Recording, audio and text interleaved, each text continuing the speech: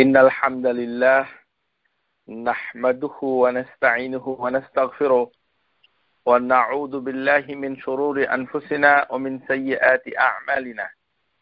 من يهده الله فلا مضل له ومن يضلل فلا هادي له. وأشهد أن لا إله إلا الله وحده لا شريك له. وأشهد أن محمدا عبده ورسوله. أما بعد أيها الأخوات إخواني السلام عليكم ورحمة الله وبركاته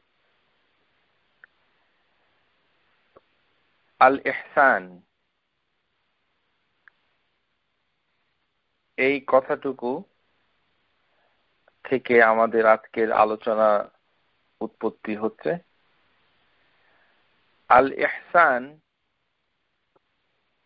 এই শব্দটুকু يدل على معاني ثلاثة ورد بها القرآن وردت بها السنة সহি হাদিসে যেভাবে আল ইহসান এসেছে এবং আল কোরআনুল আজিমের ভিতরে ইহসান এসেছে এই কোরআন এবং সুন্নার আলোকে ইহসান শব্দের তিনটি অর্থ দাঁড়ায় একটি হচ্ছে আল ইহসানু بأن تعبد الله كأنك ترى فإن لم تكن تراه فإنه يراك এটি হচ্ছে এক নম্বর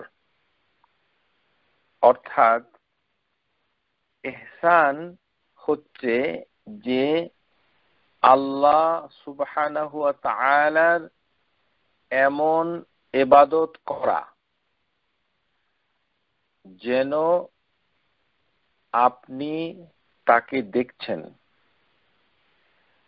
যদি আপনি তাকে দেখতে না পারেন, তাহলে তিনি আল্লাহ তাআলা আপনাকে দেখছেন। ওই পর্যায়ে আল্লাহর এবাদত করা। আমরা সবাই জানি যে ইবাদত শব্দের অর্থ হচ্ছে হীনতা এবং বর্ষতা স্বীকার করা। বাংলা ভাষায় এইভাবে কথা বললে ইবাদত আসলে বোঝা খুব কঠিন হয়ে যায়।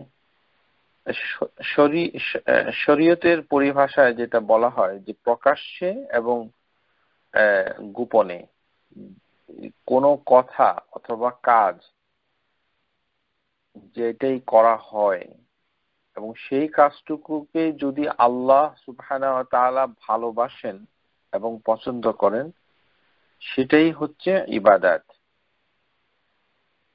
ইবাদতের তিনটি রোকন রয়েছে। একটি হচ্ছে ভালোবাসা, ভয়, আশা। এই ভালোবাসা মানে হচ্ছে আল্লাহ সুবহানা তাআলা যে হুকুমগুলো করেছেন, সেই হুকুমগুলোকে করতে ভালোবাসা।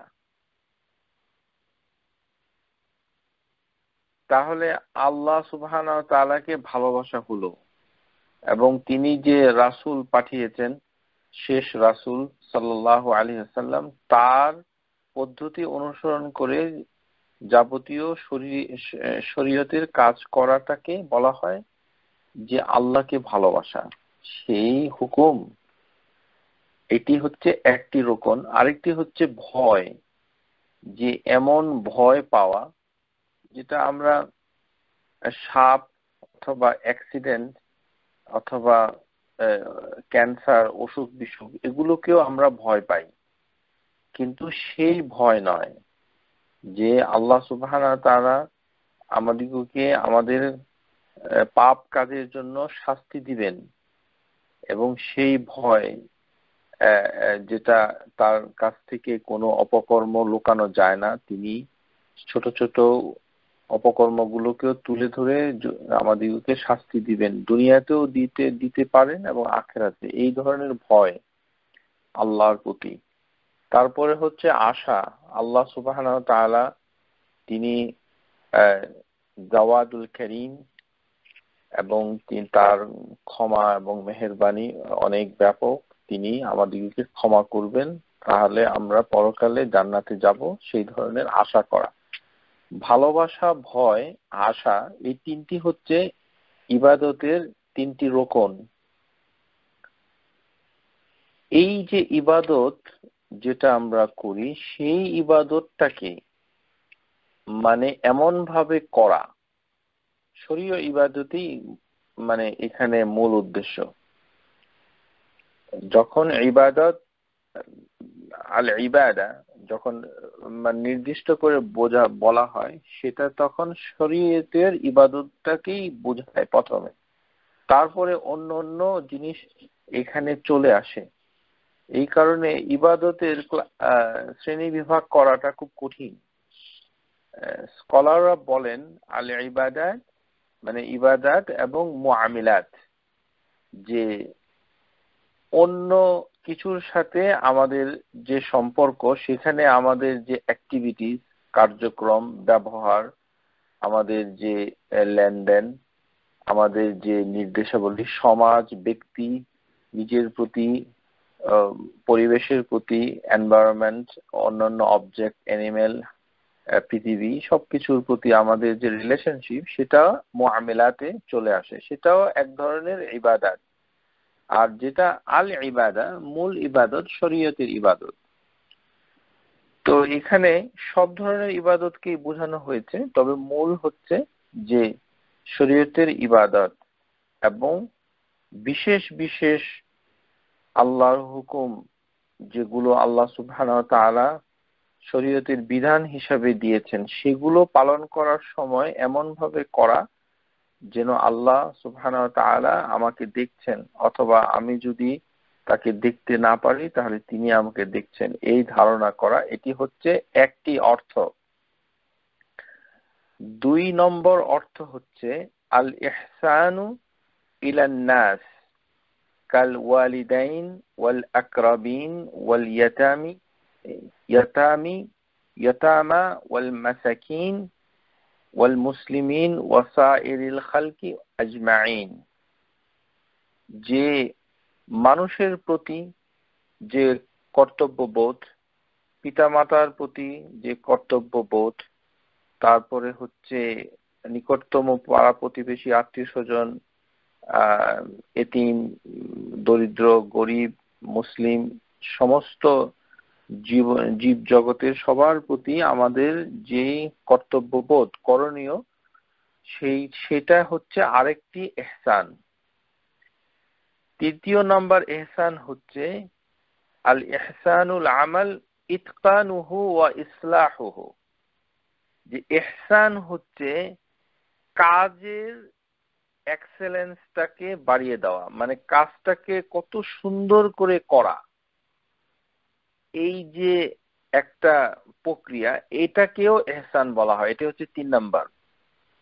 এহসান, আল এহসানু, আল আমালু ইতকানুহু ওয়া ইসলাহুহু। সংশোধন করে, নিজেকে সংশোধন করে একটি কাজ কত এক্সেলেন্ট ওয়েতে মানে এক্সেলেন্টের ভালো বাংলা মানে উৎকর্ষ উপায়ে কঠিন। আমরা সাধারণত বা কিছু কিছু শব্দ ইংরেজিতেই বলা, বোঝার চেষ্টা করতে হবে। এক্সেলেন্ট মানে খুবই ভালো করে করা। মুমতাজ মানে খুবই উত্তম ভাবে এক্সেলেন্ট ওয়েতে করা। এটাই ভালো বাংলা। কতগুলো ইংরেজি শব্দকে বাংলা হিসেবেই ধরতে হবে এখন। এটাই আমাদের জন্য সহজ। তো একটি কাজকে কত এক্সেলেন্ট ভাবে করা যায় সংশোধনের মাধ্যমে, সিওয়াউল আমাল উল ইবাদি ওয়াল যে মানে বান্দা যত কাজ আছে এবং তার যে লেনদেন আছে সবগুলোর ভিতরে কত এক্সেলেন্ট করে করা যায়, কাজটা করা যায় কিন্তু কত সুন্দর করে করা যায়, সেটাই হচ্ছে আল এহসান উদাহরণ হচ্ছে যে আমি একজন মুসলিম ভাইকে এক গ্লাস পানি দিচ্ছি। কিন্তু আমি এই এক গ্লাস পানিটি দেওয়ার সময় আমি যদি মুখে মুচকি একটু হেসে সুন্দর করে তাকে পানিটা দেই সম্মানের সাথে, মায়ার সাথে যত্ন করে, তাহলেই সেটা এতকান হয়ে গেল মানে উৎকৃষ্ট হলো এক্সেলেন্ট হলো। তারপরে ভালো একটি পাত্রে যদি দেই, তারপরে যদি পানিটাকে ঠান্ডা করে দেই, ইত্যাদি ইত্যাদি। যে কোনো কাজে ওই এক্সেলেন্ট অর্জন করাটাই হচ্ছে আল এতকান এখন এই যে এহসান এই এহসান আবার অন্যভাবে স্কলাররা ব্যাখ্যা করেছেন। আমরা থ্রি হান্ড্রেড সিক্সটি ডিগ্রি মানে আলোচনা করব ইনশা আল্লাহ আল এহসান সম্পর্কে। শাব্দিকভাবে এহসান মানে হচ্ছে বেস্ট কোয়ালিটি আজ্জা ইহসান ফি ইবাদাতিহি সুবহানাহু। যে আল্লাহর যে তাওহিদ এটা পূর্ণ হয় এই এহসানের মাধ্যমে। এবং সেটি ইবাদতের মাধ্যমে। মানে ইবাদতটাকে বেস্ট কোয়ালিটির ইবাদত। আমরা নামাজ পড়ব, কিন্তু নামাজটা বেস্ট কোয়ালিটি হতে হবে। রোজা রাখব, রোজাটা বেস্ট কোয়ালিটি হতে হবে। ইতকান, এটাকে বলা হয় ইতকান ইতকান। এটাই হচ্ছে শাব্দিক অর্থের এহসান। প্রিয় শ্রোতা, ভালো করে লক্ষ্য করতে হবে। আর এই যে এহসানের আলোচনা শুরু হয়েছে, সেটি চিন্তা করতে হবে গভীরভাবে। তাহলে এটি আদায় করা একটা ইবাদত এহসানের মাধ্যমে, তার মানে হচ্ছে বেস্ট কোয়ালিটির মাধ্যমে ওই ইবাদতটা করা। যে ইবাদতই হোক, যেমন তাওহিদুল্লাহ, আল্লাহ সম্পর্কে মানে বিশ্বাস। তো আল্লাহ সম্পর্কে বিশ্বাস মানে আল্লাহর সমস্ত গুণাবলীকে জানা অথবা জানতে চেষ্টা করা। তারপরে তার নাম সমূহ এর অর্থ কি? তার কোনো প্রভাব আমাদের জীবনে আছে কিনা? কোরআনুল ক্যারিমের ভিতরে তার কোন ইঙ্গিত আছে কিনা? সেটাকে বোঝার চেষ্টা করা।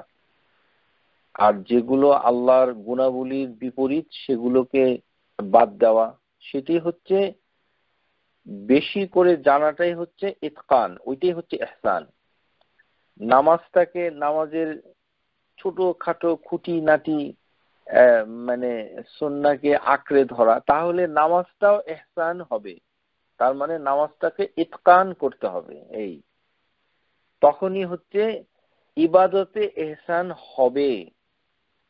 শুধু চোখ বন্ধ করে মানে মানে নিজের দেশীয় পদ্ধতিতে নামাজ পড়াটাকেই খুব এহসান। আর নিজেই একটা থিওরি আবিষ্কার করে, যেমন অনেকের অনেক থিওরি আছে। যে আমরা যেটা নামাজে পাঠ করি, তার অর্থ জানলেই মানে নামাজের খুব খুশো হয়ে গেল। এরকম দলিলবিহীন ভাবে নামাজে এই ধরনের খুশু মানে অথবা উৎকৃষ্টতা অর্জন করা মানে যায় না। সেটি নিজের মন গড়া পদ্ধতি অনুসরণ করে নামাজকে এহসান করা যায় না ইতকান করা যায় না। সেটি হচ্ছে যে উদু, তারপরে হচ্ছে নামাজের শর্ত, তারপরে হচ্ছে নামাজের যে রকন, তারপরে নামাজের ভিতরে যে সুনানগুলো রয়েছে, সেগুলোকে সহি হাদিসের আলোকে আদায় করতে পারাটাই হচ্ছে এহসান নামাজের ক্ষেত্রে। তেমনি হচ্ছে রোজার ক্ষেত্রে তারপরে তেমনি হচ্ছে জাকাতের ক্ষেত্রে। তেমনি হচ্ছে হজের ক্ষেত্রে।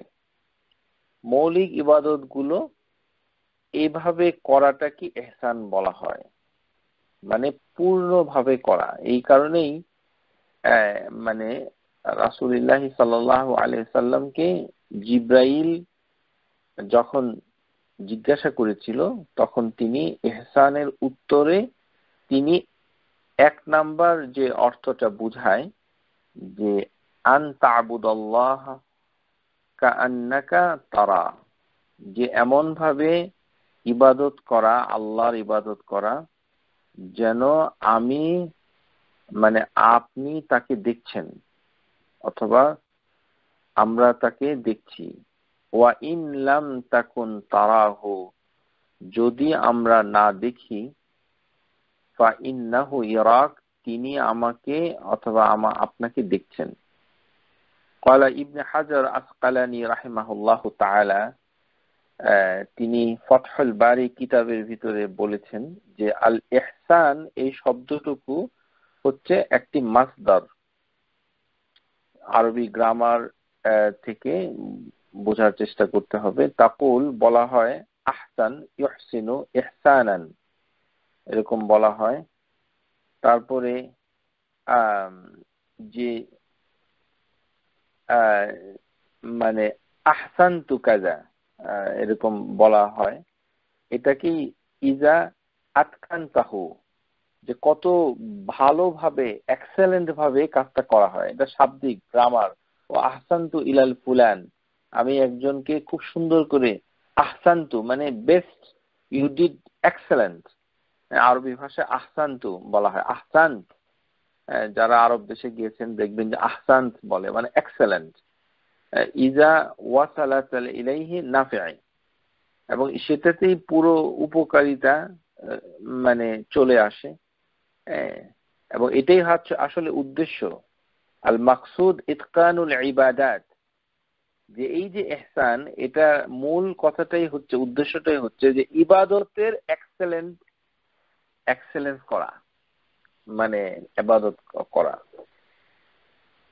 যে স্টেটমেন্ট নবী সাল আলী সাল্লাম দিয়েছেন, দেখা যদি না দেখি, তাহলে তিনি দেখছেন, এটি হচ্ছে হাদিসের একটি কথা, যেটা তিনি জিব্রাইল সালামকে উত্তর দিয়েছিলেন। কিন্তু এর ব্যাখ্যা বোঝাটাই হচ্ছে আসল উদ্দেশ্য। ওই দেখা যাবে কিনা সেটা তো পরিষ্কার। আল্লাহ সুবাহ তালাকে দেখা যায় না। এটা এটা এটা, এটাতে আগে শিখতে হবে, আমরা পর্যায়ক্রমে শিখব। আমরা ইতিপূর্বে আলোচনা করেছি যে সুফি, যারা সুফিয়া বাংলাদেশের জনগণ, অধিকাংশ আমল অথবা কাজ কর্ম আমাদের ধর্মীয় যারা মৌলানা মৌলবীর রয়েছেন, তারা সুফি মতবাদে জড়িত রয়েছেন, ইচ্ছাকৃত অথবা অনিচ্ছাকৃত ভাবে তাদের বইপত্রগুলোতেও সুফিবাদের প্রভাব বিস্তার করছে। এই কারণে তারা নানান ধরনের কথা বলে থাকে। সুফি যারা, তারা মনে করে এহসান ইলা যে পীর সাহেবের প্রতি তারা এহসান করে থাকে, পীর সাহেব। এবং মানে তাদের এহসান হচ্ছে পীরের সাথে। মানে পীরকে তৎলুবুল মিনাল মুরিদিন মানে মুরিদরা পীর সাহেবের ছবি বাসায় রাখে এবং সবসময় ওই ছবিটা দেখে। পীর সাহেবকে দীর্ঘদিন দেখলে তার চেহারাটা যদি ভুলে যায়, এই কারণে মাঝে মাঝে পীরের বাড়িতে তশরিফ নিয়ে আসে। যারা পীর মুরিদি করেন, তারা ভালোভাবে জানেন যে কেন পীরের বাড়িতে ঘন ঘন যেতে হয়। কারণ তার চেহারাটা মানে ওরা বলে যে মোবারক। এই চেহারার ভিতরে নাকি বরকত রয়েছে এবং সেই চেহারাকে মনে রাখার জন্য পীরের ছবিটা বাসায় রাখে। অনেকেই দেখবেন যারা পীরের পিকচারটা রাখে এবং তারা বলে যে যখন আল্লাহকে যখন স্মরণ করবে অথবা যখন তারা নামাজ পড়বে, তখন যেন ছবিটা দিকে একবার নজর রাখে। ওইভাবে তারা একটা এহসান করে। মানে তারা ধরে নিচ্ছে যে পীর তার সামনে আছে। এই যে সুফিবাদের এহসান এটা হচ্ছে বাতিল। এটা শরীয়ত বিরোধী, আকিদা বিরোধী। এটার উৎস হচ্ছে যে সুফি যিনি মানে মুরিদ, সে তো আল্লাহকে কোনোদিন দেখতে পারবে না বলে পীর সাহেব তাকে বলে দিয়েছে, তুমি দেখতে পারবে না। তো তাহলে কে দেখতে পারবে? তো বলে যে, ওই সুফি যে বুজুর্গ, তিনি আল্লাহকে দেখেন, এই জীবনে দেখবে। সুতরাং উনি যদি দেখেন আল্লাহকে, আর আমি আমি হচ্ছি মুরিদ, আমি দেখতে পাই না, তার মানে সুফির মাধ্যমে আমি আল্লাহকে দেখছি। এই কারণে তারা সুফিকে সাথে রাখে, পীরের মাধ্যমে আল্লাহকে দর্শন করে মানে দেখে। তাজা আমরু ইয়াতিল্লাহি দুনিয়া ওয়াল কোরআন। যে এগুলি হচ্ছে মিথ্যা কথা। এগুলোর কোনো মানে মূল্য নাই যে এরা বলে যে তারা মানে আল্লাহকে দুনিয়ার জীবনে দেখে। আল্লাহ সুবহান তালাকে এই পৃথিবীতে জাগ্রত অবস্থায় কোন আদম সন্তান কোন নবী রাসুল থেকে শুরু করে কেউ দেখেনি। সেটি কোরআন সুরা আল আরাফের ভিতরে আল্লাহ পরিষ্কার করে বলে দিয়েছেন। যখন মুসা আলাইহিসালাম আল্লাহ সুবহান কাছে বলেছিলেন, রব্বি আরিনি আনজুর ইলাইক হে আমার রব, আমি আমার কাছে আপনি দেখা দিন। আমি আপনাকে দেখব। আমার কাছে আপনি আমার নজরে আসুন, আমি আপনাকে একটু দেখতে চাই। তো তখন আল্লাহ সুবহান তারা বলেছিলেন মুসা আলি সালামকে, কল লান তারানি ইউ ক্যানট সি মি তুমি আমাকে দেখতে পারবে না। তার মানে কেউই দুনিয়ার জীবনে রাসুল, আম্বিয়া, মোরসালিন যারা এসেছিলেন, তারাই আল্লাহকে দেখতে পান নাই। সুতরাং এই পীর সাহেব দেখবে কীভাবে? এই, এইখান থেকেই এই বাতিল তরিকাটা শুরু হয় এবং এখান থেকেই এই এহসান সম্পর্কে সুফিবাদের অনেক ধরনের ব্যাখ্যা আছে, সেটা থেকে আমাদের বিরত থাকতে হবে। এহসান মানে এই যে কথাটা এই কথাটা মানে অর্থটা কি? এই কথাটা হাদিসের যে ভাষ্যটা এসেছে, হাদিস ও জিব্রাইলের, আপনারা সবাই জানেন যে রাসুলিল্লাহ সাল্লাহ আলহিসাল্লাম কে জিব্রাইল আলহিসাল্লাম কিছু প্রশ্ন করেছিলেন, ইসলাম ইমান এহসান সম্পর্কে। তখন রাসুলিল্লাহ সাল্লাহ সাল্লাম এহসান সম্পর্কে যে উত্তর দিয়েছিলেন সেটা আপনারা শুনেছেন। কা আন্নাকা তারা। ফাইনলাম তাকুন তারাহু ফাইন্নাহু ইয়ারাক। যে এমন ভাবে ইবাদত করো যেন তুমি তাকে দেখছ। আর যদি তুমি তাকে দেখতেই না পাও, তাহলে তিনি তোমাকে দেখছেন। এই যে কথাটা, এটা দিয়ে বোঝানো হচ্ছে, ওয়াহিয়া আলা মোরাতাবা, মোরাতাবুদ্দিন আজামুহা। এটি হচ্ছে ধর্মের, ইসলামের সর্বোচ্চ স্তর। এটা হচ্ছে অনেক উপরের স্তর, এটি হচ্ছে একটি অর্থ। এটা কীভাবে পাওয়া যায়?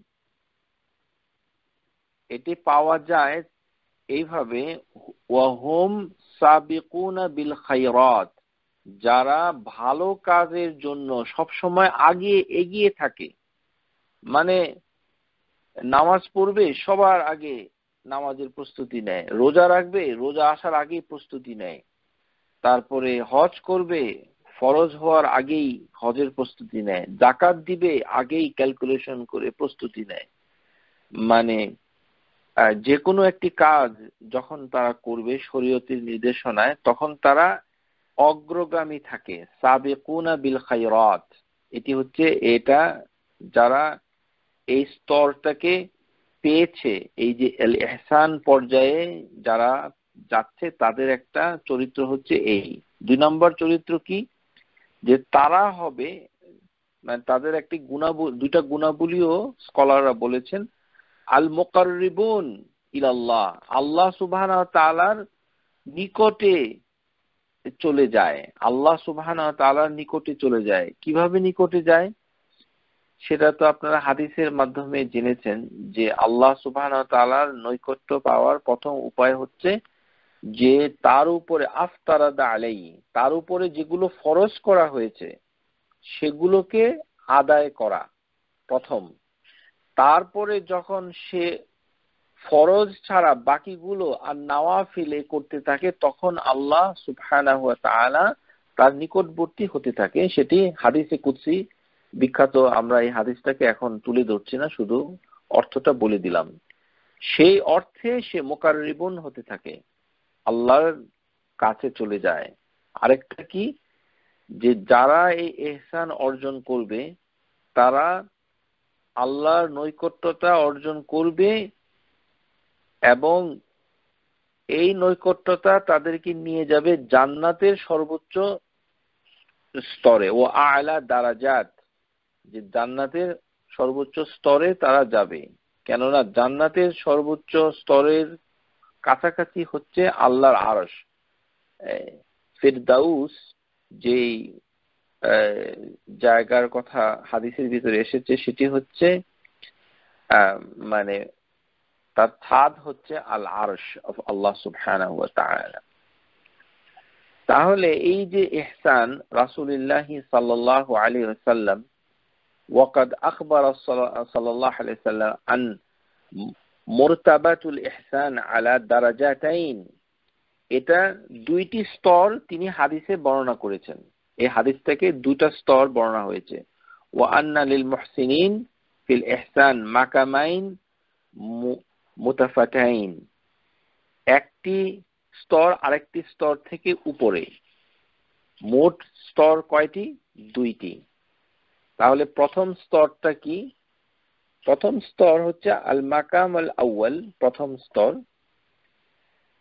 প্রথম স্তর হচ্ছে যে মানে ইবাদতের সময়, ভালো করে সব সময় কিন্তু আল্লাহকে দেখবে এটা মনে করতে, করাটা ঠিক নয়। এটি হচ্ছে, আন্তা আবুদুল্লাহ আন্নাকা তারা। যখন ইবাদত করি, ইবাদতের সময় ইবাদত এর প্রস্তুতির সময়, ইবাদত চলাকালীন সময়, ইবাদতে সামিল হওয়ার সময়, ইত্যাদি। ইবাদতের সাথে যখন আমরা আল্লাহকে মানে দেখি এই ধরনের একটা ধারণা করি, তখন এর অর্থ কি দাঁড়ায়? এর অর্থ দাঁড়ায়, কিছু কিছু স্কলার বলেছেন যে এর অর্থ দাঁড়ায় আল মাকাম মুশাহাদা।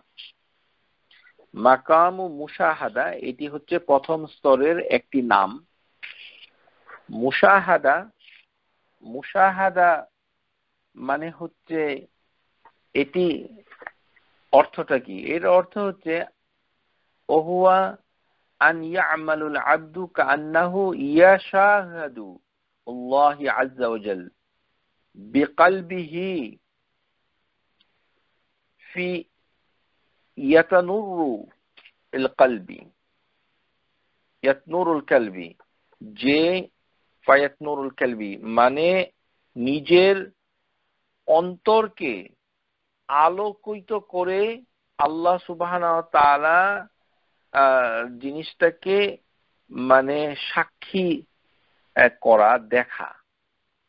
নিজের অন্তরে, আমাদের যে হার্ট অন্তর রয়েছে, এই অন্তরে আলোকে, অন্তরটাকে আলো দিয়ে ভরে দেওয়া, সেই অন্তরের মাধ্যমে আল্লাহকে দেখা। তাহলে আমরা কি বুঝতে পারলাম? যে এটি কিন্তু চোখে দেখা বোঝায় না। এটাকে বলা হয় ইউশাহাদাল্লাহ এটি হচ্ছে, এটির একটি অর্থ স্কলাররা বলেছেন। এটি খোলা চোখে দেখা বোঝায় না। শাহাদ। শাহাদ, এই যে শব্দটুকু, এর মূল হচ্ছে যে শিন, হা, তারপরে হচ্ছে দাল। শাহিদা, ইয়াশহাদু। এর অর্থ হচ্ছে, এটি শাহাদা মানে হচ্ছে একটা নাউন মানে অ্যাক্ট অফ উইটনেসিং মানে কোনো জিনিসকে সাক্ষী মতো দেখা, সাক্ষী দেওয়া অথবা সাক্ষী থাকা এই ধরনের একটা কাজকে শাহাদা বলা হয়। এটাই হচ্ছে অন্তর দিয়ে এটা দেখা। মুসাহাদা মানে হচ্ছে একটি মাসদার verbal noun. Act of seeing মানে দেখা, নিজের চোখে দেখা, মুশাহাদা।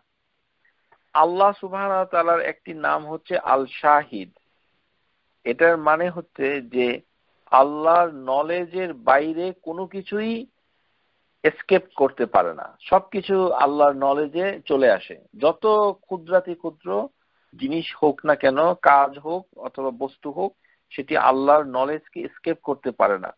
তার মানে আল্লাহ সেটাকে উইটনেস করেন। সেই জন্য আল্লাহর নাম হচ্ছে আল শাহিদ আল্লাহ সুবহানাহু নলেজের মাধ্যমে যখন তিনি এটাকে জেনে যান,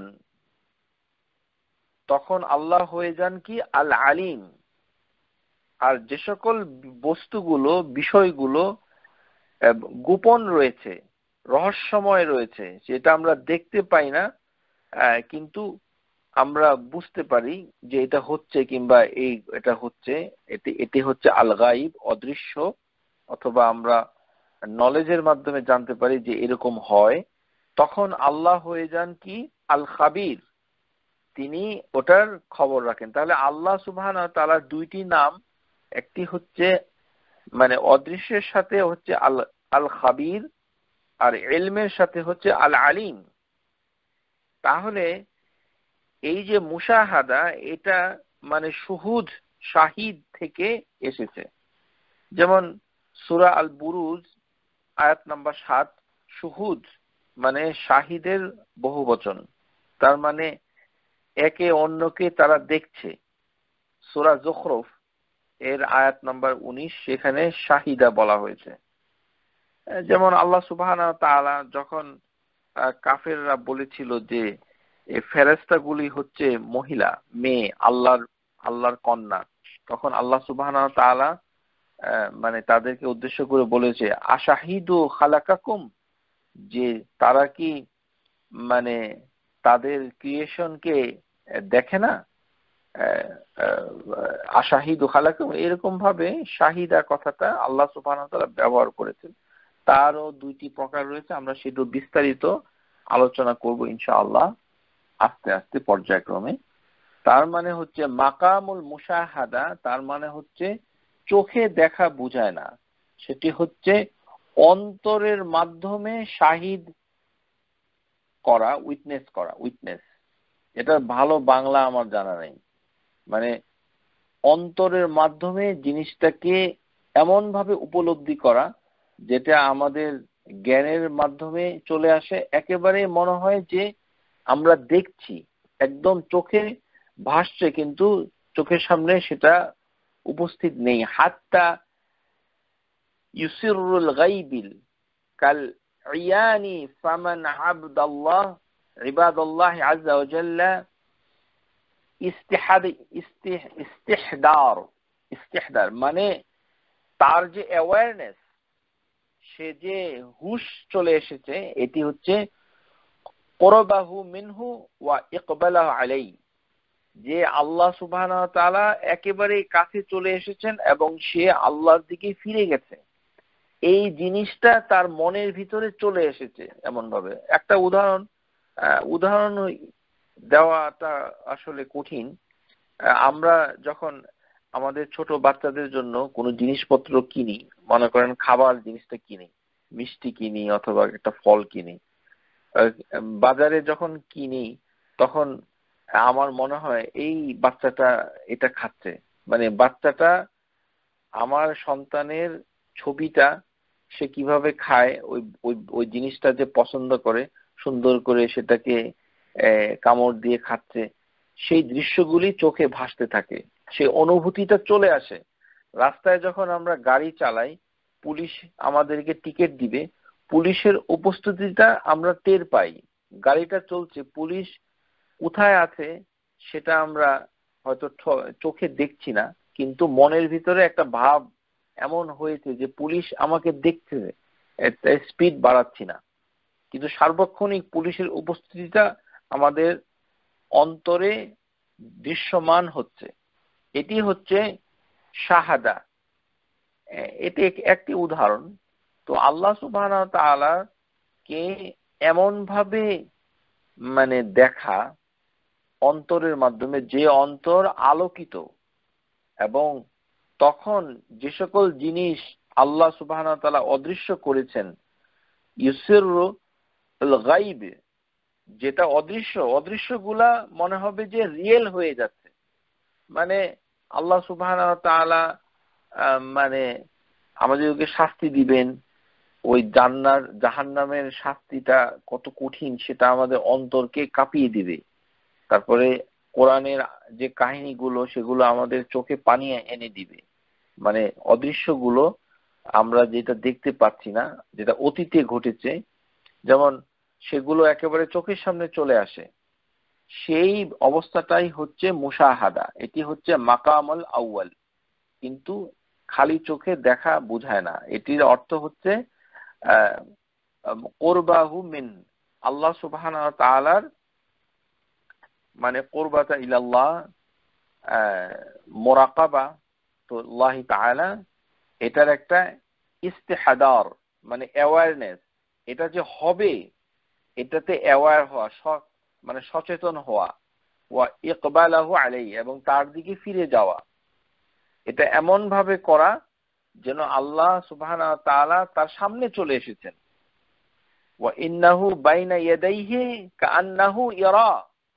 এবং এমন হচ্ছে যে আল্লাহ সুবহানাহু ওয়া সামনে এই কাজটা সে করছে। মানে তিনি এটাকে মানে দেখছেন লুকিং এট হিম মানে তিনি দেখছেন, তাকে দেখছেন, আল্লাহকে দেখছেন, এমন একটা ভাব মানে তার আসে যেমন আল্লাহ তার সামনে চলে এসেছেন।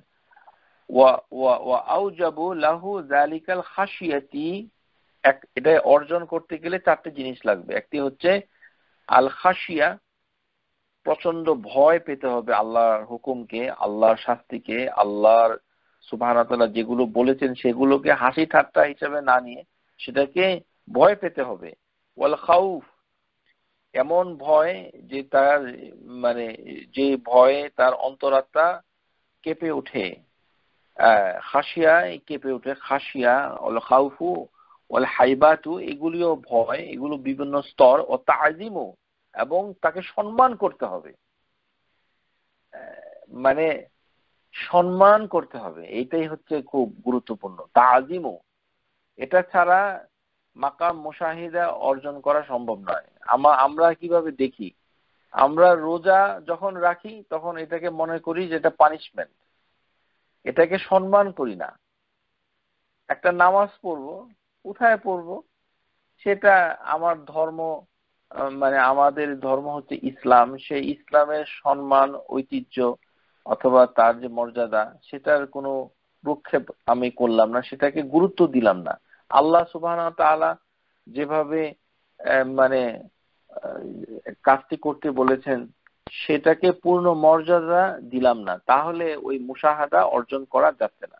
শুধু ভয় পেলেই হবে না, বরঞ্চ ভয় এবং সাথে সম্মান করতে হবে আল্লাহর হুকুমকে, যেন আল্লাহকে স্মরণ করছে। এই, এর মাধ্যমে ওই মুসাহাদাটা অর্জন হবে। আর পরের স্তর তাহলে আমরা প্রথম স্তরের একটি নাম হচ্ছে মাকামুল মুসাহাদা এটি হচ্ছে প্রথম, লিখে রাখুন। আল মাকামুল মুসাহাদা হচ্ছে প্রথম স্তর। এটার মানে হচ্ছে আনিয়া আমালুল আব্দু কান্নাহু ইউশাহিদুল্লাহি আজ্জা ওয়াজাল্লা বিকালবিহি। অন্তর দিয়ে আল্লাহকে দেখা, অন্তর দিয়ে আল্লাহকে দেখাটাকে বলা হয় শাহাদ মানে মুশাহাদা। অন্তর দিয়ে দেখা, চোখ দিয়ে নয়। এবং সেই অন্তরটা আলোকিত হতে হবে বিল ইমান কালবি বিল ইমান নওয়ারুল কালবি নওয়ারুল কালবি বিল ইমান ইমানের ইমানের মাধ্যমে আলোকিত হতে হবে অন্তর। সেই অন্তর দিয়ে আল্লাহকে দেখা যখন সে ইবাদত করবে, সেটি হচ্ছে আল মাকামুল মুশাহাদা। তারপরের স্তর হচ্ছে মাকামুল ইখলাস, পরের স্তর। এই স্তর হচ্ছে পরে। এটা হচ্ছে মোরাকাবাতুন মানে আল্লাহ সুবহান তাআলার সিনসিয়ারিটি মানে আল্লাহ সুবহান তাআলা জন্যই এটা করা হচ্ছে। মানে এই ধরনের একটা সচেতনতা মানে অ্যাওয়ারনেস থাকা, যে আল্লাহ খুব নিকটেই আছেন, তিনি আমাকে দেখছেন। হ্যাঁ এই ভাবটাকে নিয়ে আসা যে কাজের মাধ্যমে ইস্তেহাদার মুশাহাদ আল্লাহ ইয়াহু হ্যাঁ, যে যে আল্লাহ তাকে দেখছেন এবং তার নিকটবর্তী হয়েছেন মোরাকাবাতুন সে নিয়ে। এই ধরনের আরবি শব্দগুলো ওই পীর পীর সাহেবরা অনেক ভাবে ব্যবহার করে মানুষকে মিসগাইড করে। ওই মোরাকাবা করে কবরের কাছে গিয়ে এটা বলে মোরাকাবা ইত্যাদি এরকম মুশাহাদা বলে বোঝায় যে পীর সাহেব আসলে আল্লাহকে দেখে, ইত্যাদি। তো এগুলো আসলে মানে হাদিসের শব্দ নয়, এগুলি হচ্ছে হাদিসের ব্যাখ্যা। যারা যেগুলো স্কলাররা বলেছেন। সুতরাং এই যে মানে সিনসিয়ারিটি এখলাস মানে এক সিনসিয়ারিটি এটাই হচ্ছে ভালো বাংলা, আলহামদুলিল্লাহ সিনসিয়ারিটি এই যে আল্লাহর প্রতি সিনসিয়ারিটি এটা এমন স্তরে যদি হয়, সে অন্যদিকে কোনো অ্যাটেনশন পে করে না আল্লাহ ছাড়া। মিনাল ইলতিফাত, আল ইলতিফাতুন ইলা গাইরিল্লাহ আল্লাহ ছাড়া অন্যদিকে সে দৃষ্টিপাত করে না অ্যাটেনশন দেয় না। আল ইলতিফাতু ইলা গাইরিল্লাহ এটি হচ্ছে একটি, এভাবে তাকে মানে চর্চা করতে হবে। অল ইরাদাতাহু বিল আমাল। এবং অন্য কিছুর জন্য সে ওই কাজটাকে ছেড়ে দেয় না। যেমন নামাজ শুরু করল, সে নামাজটাকে ছেড়ে দিচ্ছে না কোনো কারণ ছাড়াই। আর নামাজে এসে রয়েছে মানে তার নজরটা অন্তরের মাধ্যমে আল্লাহর দিকে রুজু হয়েছে, যেন আল্লাহ তাকে দেখছেন। সুতরাং অন্য কিছুর প্রতি, আল্লাহ ছাড়া অন্য কিছুর প্রতি সে কোনো নজর দিচ্ছে না। এই স্তরের নামই হচ্ছে মাকামুল এখলাস যেটি রাসুলিল্লাহ সাল্লাহ সাল্লাম বলেছেন যে, ফাইন্নাহ ইরাক, যে আল্লাহ তোমাকে দেখছে। এটি হচ্ছে দ্বিতীয় স্তর।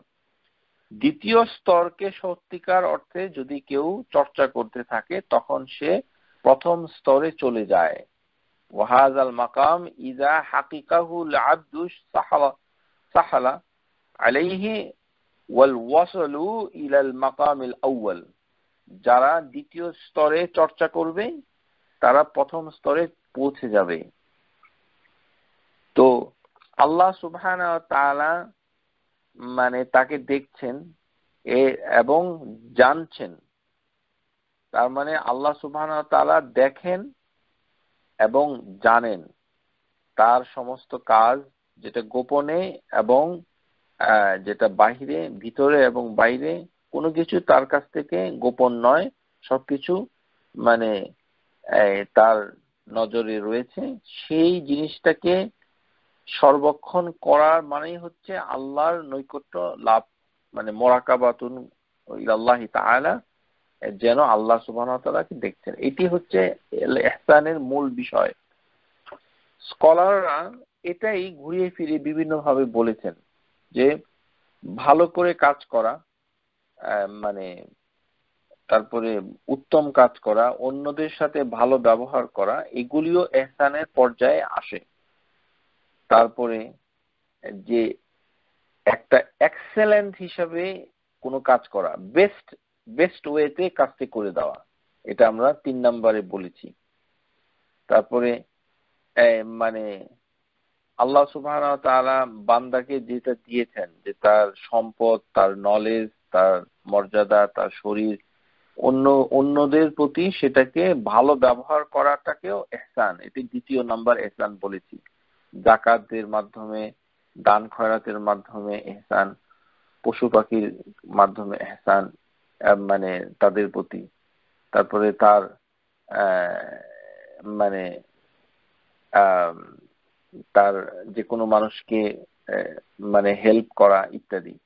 হাদিসে জিব্রাইলের ভিতরে যেটি বেসেছে সেটি হচ্ছে আমরা আলোচনা করেছি যে এই যে এখলাস এবং আল্লাহকে সন্তুষ্ট করে এবং আল্লাহ সুবহান তালার গাদাব, যেটা আল্লাহ রাগ করেন সেটা থেকে সে ভয় পায়।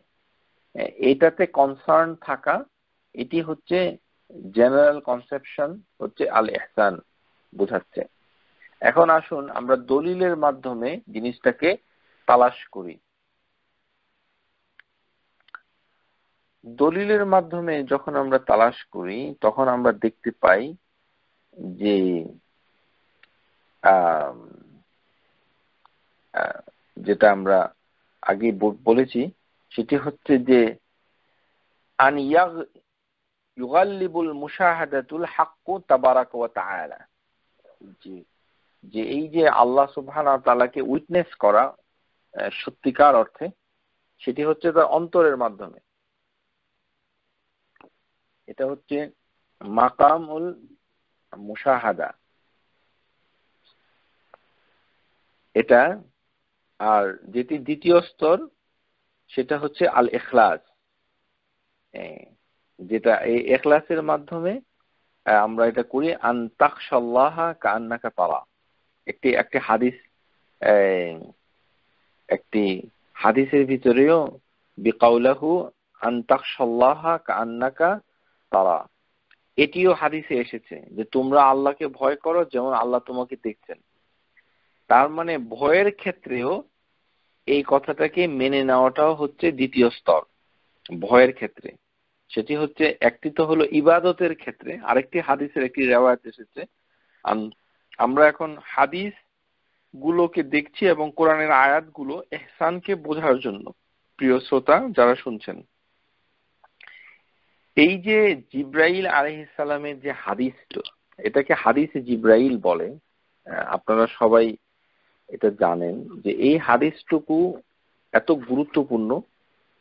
এই হাদিস সম্পর্কে বিভিন্ন স্কলার অনেক কথা বলেছেন যে জিব্রাইল আলহ সালাম যখন সাদা ধবধবে কাপড় পরে মানে কালো চুল যেন পরিষ্কার, এরকম একটি সুন্দর সুশ্রী একটি অবয়ব নিয়ে রাসুল্লাহ সাল্লাহ সাল্লামের কাছে এসে বসলেন হাঁটুতে হাত রেখে।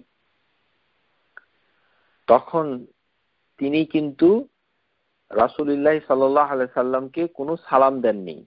ওয়াকাল, ইয়া মুহাম্মাদু, হে মোহাম্মদ, আখবিরনি আনিল ইসলাম। ইসলাম সম্পর্কে আমাকে কিছু খবর দিন। এই প্রশ্নটাই জিব্রাইল আলী ইসালাম করেছিলেন। যখন এই ঘটনাটা ঘটছিল, তখন কিন্তু সাহাবি যারা উপস্থিত ছিলেন, তারা কিন্তু জানতে পারেন নাই যে এই উপস্থিত প্রশ্নকারী ব্যক্তিটি কে। তারা কিন্তু জানতে পারেনি। তারা অবাক হয়েছিল। কিন্তু রাসুল রাসুলিল্লাহ সাল্লাম তিনি উত্তর দিয়েছিলেন। তো প্রথম প্রশ্ন হচ্ছে ইসলাম সম্পর্কে।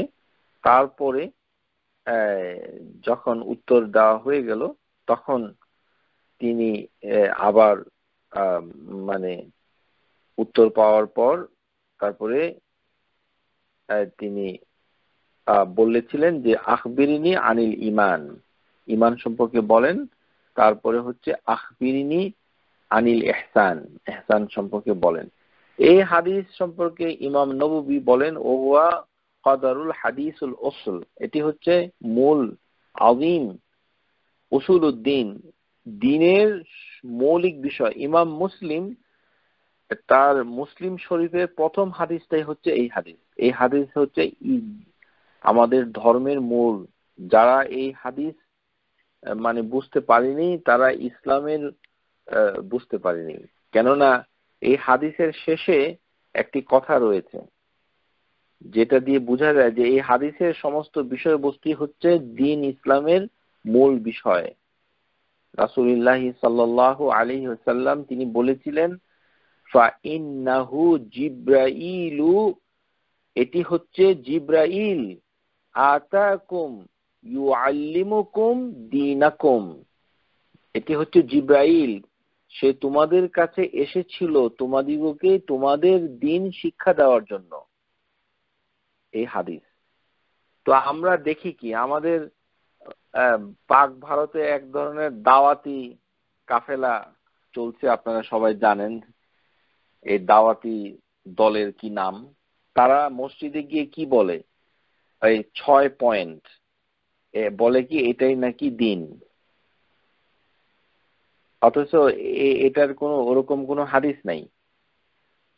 যদি পয়েন্টগুলো বলতে হয়, তাহলে এই হাদিসটাই হওয়া উচিত ছিল পয়েন্ট এই হাদিসের যে প্রশ্নগুলো, তার উত্তরগুলো হওয়া উচিত কেননা এখানে জিব্রাইল সালাম, তিনি সাহাবিদের কাছে এসেছিলেন দিন শিক্ষা দেওয়ার জন্য। জিব্রাইলু আতাকুম ইউ আল্লিমুকুম দিনাকুম he came to teach you your religion বর্তমানে জামাল আলদিন যারা বুঝু তিনি এই হাদিসের উপরে একটি বই লিখেছেন। সেই বইটা আপনার Al Bashir company publication translation বইটির দাম হচ্ছে এগারো টাকা। এই এটা কিনতে পারেন। এখানে এটার অনেক ব্যাখ্যা রয়েছে। He came to he came to teach you your religion so এটা বাংলাতে অনুবাদ হয়েছে। যারা বাংলা পড়তে চান, আমাদের বাংলাদেশে আমাদের এক ইঞ্জিনিয়ার ভাই, তিনি অনুবাদ করেছেন বাংলাতে। পড়ে দেখেন, এটা খুব ভালো বই। তো, এই যে মানে মূল বিষয়, এটি বিভিন্নভাবে হাদিসে এসেছে। এই এই এহসানকে ব্যাখ্যা করেছে আরেকজন স্কলার তিনি হচ্ছেন ইবনুল কাইম রাহিমাহুল্লাহ তাআলা। তার বিখ্যাত কিতাব মাদারিজুস মানে একটি কিতাব, সেই কিতাবে তিনি বলেছেন, ওয়ামিন মানাজিল। এই যে এহসান এই এহসানের মানে স্তরটা কোথায়? ইয়াকা নাবুদু ওয়া ইয়াকা নাস্তাইন সূরা ফাতিহা তিনি বলেছেন যে আল এহসান বুঝতে হলে এই আয়াত বুঝতে হবে। সুরা ফাতেহার এই পাঁচ নম্বর আয়াত। ইয়াকা নাবুদু ওয়া ইয়াকা নাস্তাইন তো সুরা ফাতেহার প্রথম যে অংশটুকু যেটা এসেছে, এই অংশটুকুকে প্রথমে আপনারা আসুন গ্রামার আলোচনা করি নেই। ইয়াকা মানে কা হচ্ছে একটি দমির প্রনাউন এই দমির, এটা না বুদুর সাথে অ্যাটাচড হলো না কেন? মুত্তাসিল। মানে কা ছাড়া এটা মুত্তাসিল। কীভাবে হলো? যে ইয়াকা এই কাটা মানে আমরা না বুধু আমরা এবাদত করি, কার? তোমার মানে আল্লাহর। তো এই কাটা যদি পিছনে থাকে, তাহলে কি হবে আর সামনে থাকলে কি হবে? এটা যখন মুনফাসিল হয়ে যায়, তখন ইয়া ইয়া আসলে একটা মানে হরফ দুইটি হরফের একটি সংমিশ্রণ। এটা আসলে কাকে বহন করছে। ইয়া আলাদা করে এটা একটি গ্রামার কনস্ট্রাক্ট এই ইয়াটা কাকে যখন মানে আলাদা করে দিচ্ছে, এই মানে ভার্বের সামনে থেকে, তখন এটা সামনে বসে যায়। তাহলে আমরা একটা রুল জানতে পারলাম যে ইয়া যখন কাকে নিয়ে আসে, তখন এটা এই দমিজটা হয়ে যায় মনফাসিল। তখন এটা ভার্বের সামনে বসে। এই কারণে ইয়া কা না আবুদু তখন ওই যে কাটা হয়ে যাবে একটা অবজেক্ট যে এটাই একমাত্র তুমি হচ্ছ মানে আল্লাহ হচ্ছে একটা অবজেক্ট যার আমরা এবাদত করি। তারপরে আল্লাহ সুবাহ ওয়া ইয়া কানাস্তাইন মানে আমরা সাহায্য চাই ইস্তেআনা দেখুন, ইবাদাত, এটাকেও এবাদত বলা হয় ইস্তেআনা, সাহায্য চাওয়া, এটাও এক ধরনের ইবাদত। ইস্তেআনা, ইস্তেগাসা হ্যাঁ তো এগুলি তো ইবাদতেরই একটা পার্ট কিন্তু আল্লাহ সুবাহ তাআলা এখানে ইবাদত থেকে ইস্তেআনা, সাহায্য চাওয়াটাকে তিনি পৃথক করে দিয়েছেন। এর কারণ হচ্ছে যে ইবাদতটাকে করার জন্য যে টুলস দরকার, যেই ধরনের মানে মাধ্যম দরকার সাবাব সেটি হচ্ছে ইস্তেআনা। ইস্তিআনা, ইস্তিগাসা, ইস্তিআজা। ইস্তিআজা, এগুলি সবই হচ্ছে ইবাদতের একটি অংশ। তো, ইয়াকা নাস্তাইন এখানেও ইয়াকাটা আগে চলে এসেছে। তো, যেমন আল্লাহ সুবহানা তাআলা কোরআনুল কারীমের ভিতরে মানে ইয়া বিভিন্ন বিভিন্ন জায়গায় বলেছেন। যখনই তিনি ইবাদতের কথা বলেছেন, তখনই তিনি ইয়া তাকে ইবাদতের আগে নিয়ে এসেছেন। অন্য ক্ষেত্রে নয়। একটা সুন্দর উদাহরণ দিলে আপনারা এটা বুঝতে পারবেন, ইনশাআল্লাহ আশা করি। সুরা মুলক। সুরা মুলকের একটি আয়াত, সেখানে কি রয়েছে? যে ওহুয়ার রহমান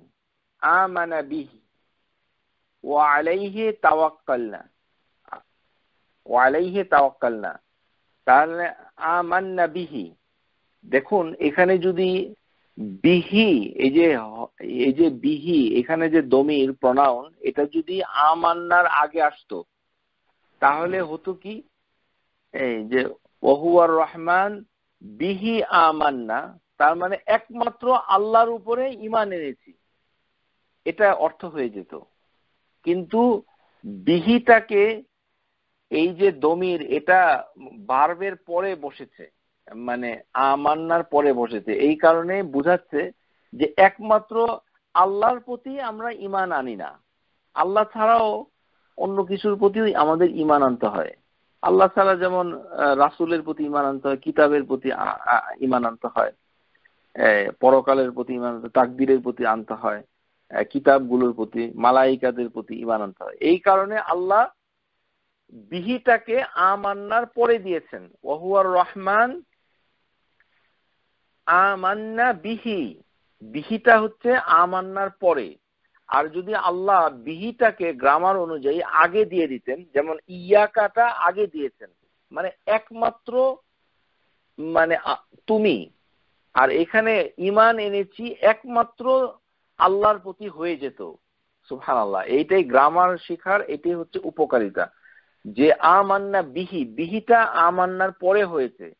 কিন্তু পরে আবার দেখুন ও আলাইনা ও আলাইনা তাওয়াক্কাল না এবং তাওয়াক্কাল করছে একমাত্র আল্লাহর প্রতি। ওইখানে তাওয়াক্কাল না আলাইক, এটা এটা হয় নাই।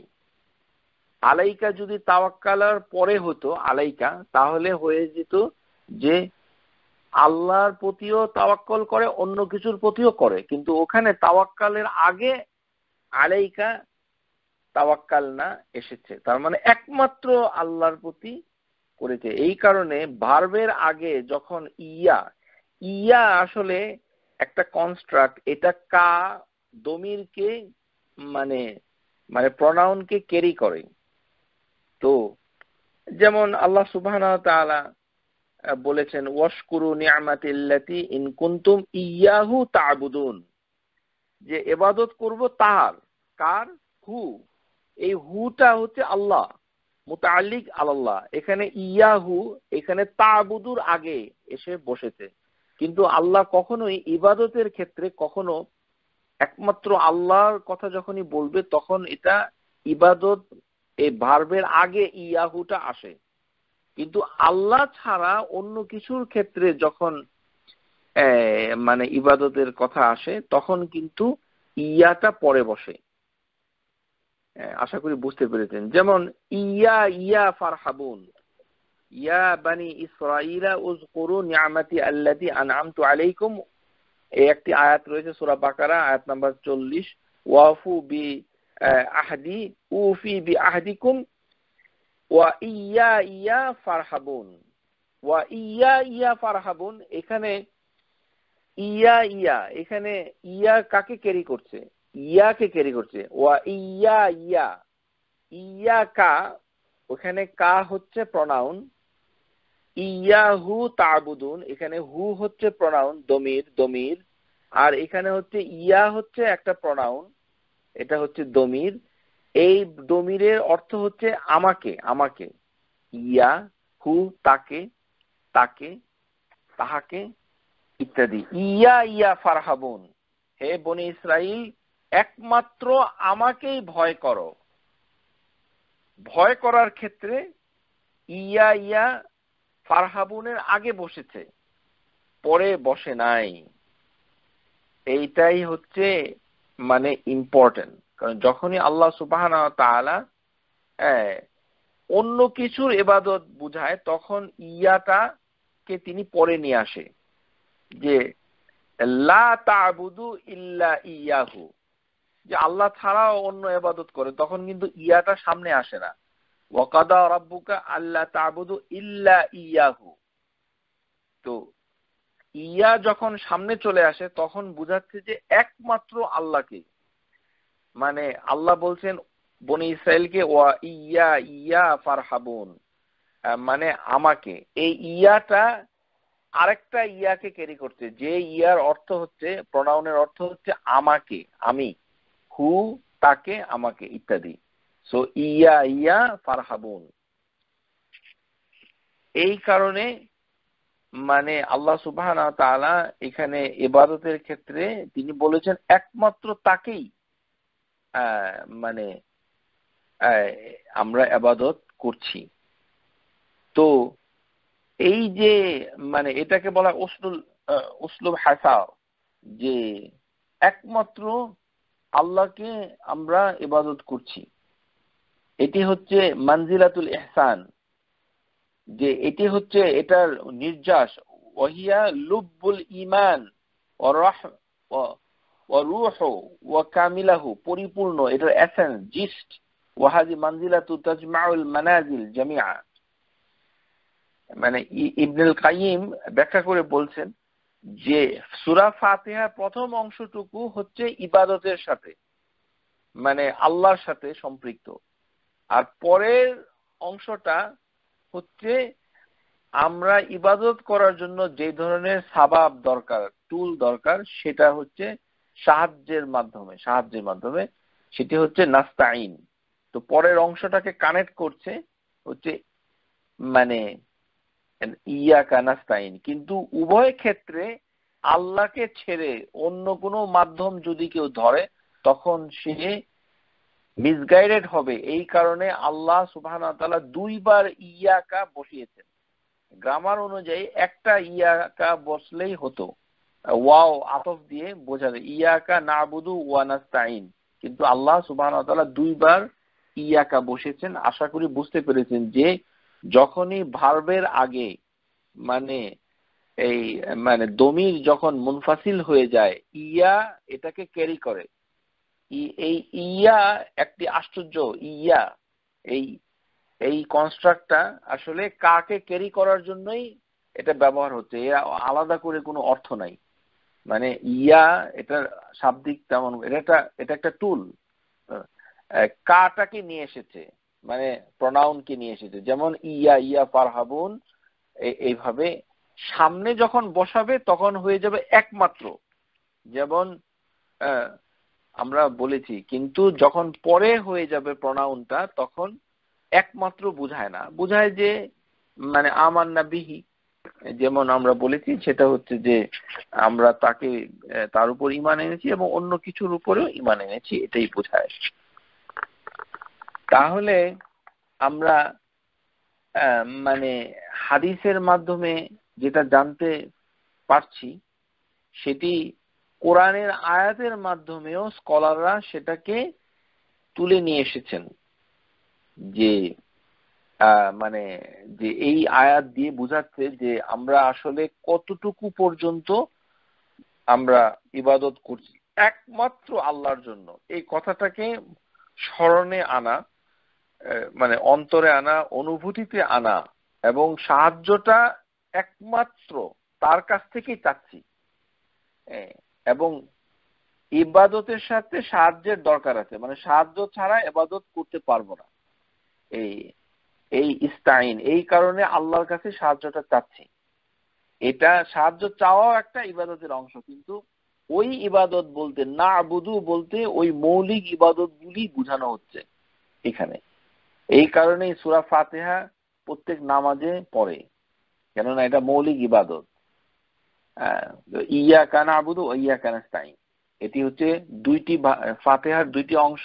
প্রথম ইয়াকা না আবুদু হচ্ছে প্রথম অংশের সাথে কানেক্টেড পরের অংশটুকু ইয়া কানাস্তাইনের সাথে কানেক্টেড ইমাম আল কুরতুবি রাহেমাহুল্লাহ তিনি বলছেন যে, এই যে এহসানের আগে যে আল বসছে, মারিফা, এই যে আল, এই আলটা হচ্ছে যে একটি বিশেষ মানে মানে পরিচিতি বুঝাচ্ছে। আল আহাদি জাহানি মানে এটা পরিচিতি, মানুষকে মানুষকে তুলে ধরছে যে এটি একটি বিশেষ ধরনের এহসান। একটি আয়াত দিয়ে তিনি এটা ব্যাখ্যা করার চেষ্টা করেছেন। হাল জাজাউল ইহসান ইল্লাল ইহসান সুরা রহমান আয়াত নাম্বার 60 যে মানে এখানে প্রিয় শ্রোতা, কোরআনের যে এই আয়াতের ভিতরে একই শব্দ দুইবার এসেছে। হাল জাজা উ জাজা উ মানে হচ্ছে বিনিময়, পুরস্কার দেওয়া হবে, কিন্তু এটা অনেক অর্থ হয়। যে একটি অর্থ হচ্ছে যে জাজা উ হচ্ছে যে মানে এহসান একটি এহসানের বিনিময়ে ইল্লাল এহসান, আরেকটি এহসান হবে। এই দুই এহসান কি একই জিনিস? আমরা যারা বাংলাদেশি কোরআন পড়ি, অনুবাদ, সেখানে কিন্তু এর কোনো পার্থক্য দেওয়া হয়নি এই কারণে বাংলা ভাষায় কোরআন পড়লে আপনি ঠিক মতো বুঝতে পারবেন না যে আসলে আল্লাহ সুবহানা তাআলা এখানে কি বলতে চাচ্ছেন। কেননা দুইটি একই শব্দ। হাল জাজা উল এহসান, এখানেও আল এহসান, ইল্লাল এহসান। তাহলে এটা কথাটা কি দাঁড়াল? এহসান ছাড়া এহসান, অথবা আল এহসান ইল্লাল এহসান দুটা এহসান। একই শব্দ, একই বানান। তাহলে প্রথম এহসানটা কি? প্রথম এহসানটা হচ্ছে মানুষের কাজ মানে হিউম্যান অ্যাকশন তাআতিল্লাহি তাআলা, আল্লাহর যে আনুগত্য করা, আল্লাহ যেগুলো হুকুম করেছে, সেই কাজগুলো করা। কেমন ভাবে করা, সুন্দর করে করা এক্সেলেন্ট ভাবে করা। যদি এক্সেলেন্ট ভাবে আল্লাহর বিধি নির্দেশগুলি মানুষ করতে পারে, তাহলে আল্লাহ এহসান হয়ে যাবে। তার মানে আল্লাহ রেওয়ার্ডটা দিবে, যে বিনিময়টা দিবে, সেটাও এক্সেলেন্ট হবে। তাহলে প্রথম আল এহসানের অর্থ প্রিয় শ্রোতা এরকম কিন্তু কোরআনুল কারিমের ভিতরে আছে। একই শব্দ দুইবারে, দুইবার আসে, কিন্তু দুটার কিন্তু একই অর্থ হয় না। যেমন আপনারা যারা কোরআন চর্চা করেন, তাদের জন্য বলছি, সুরা সুরা আয়াত নাম্বার চল্লিশ। এখানে বাংলাতে কোরআন পড়লে এইভাবে বোঝাটা খুব মুশকিল হয়ে যায়।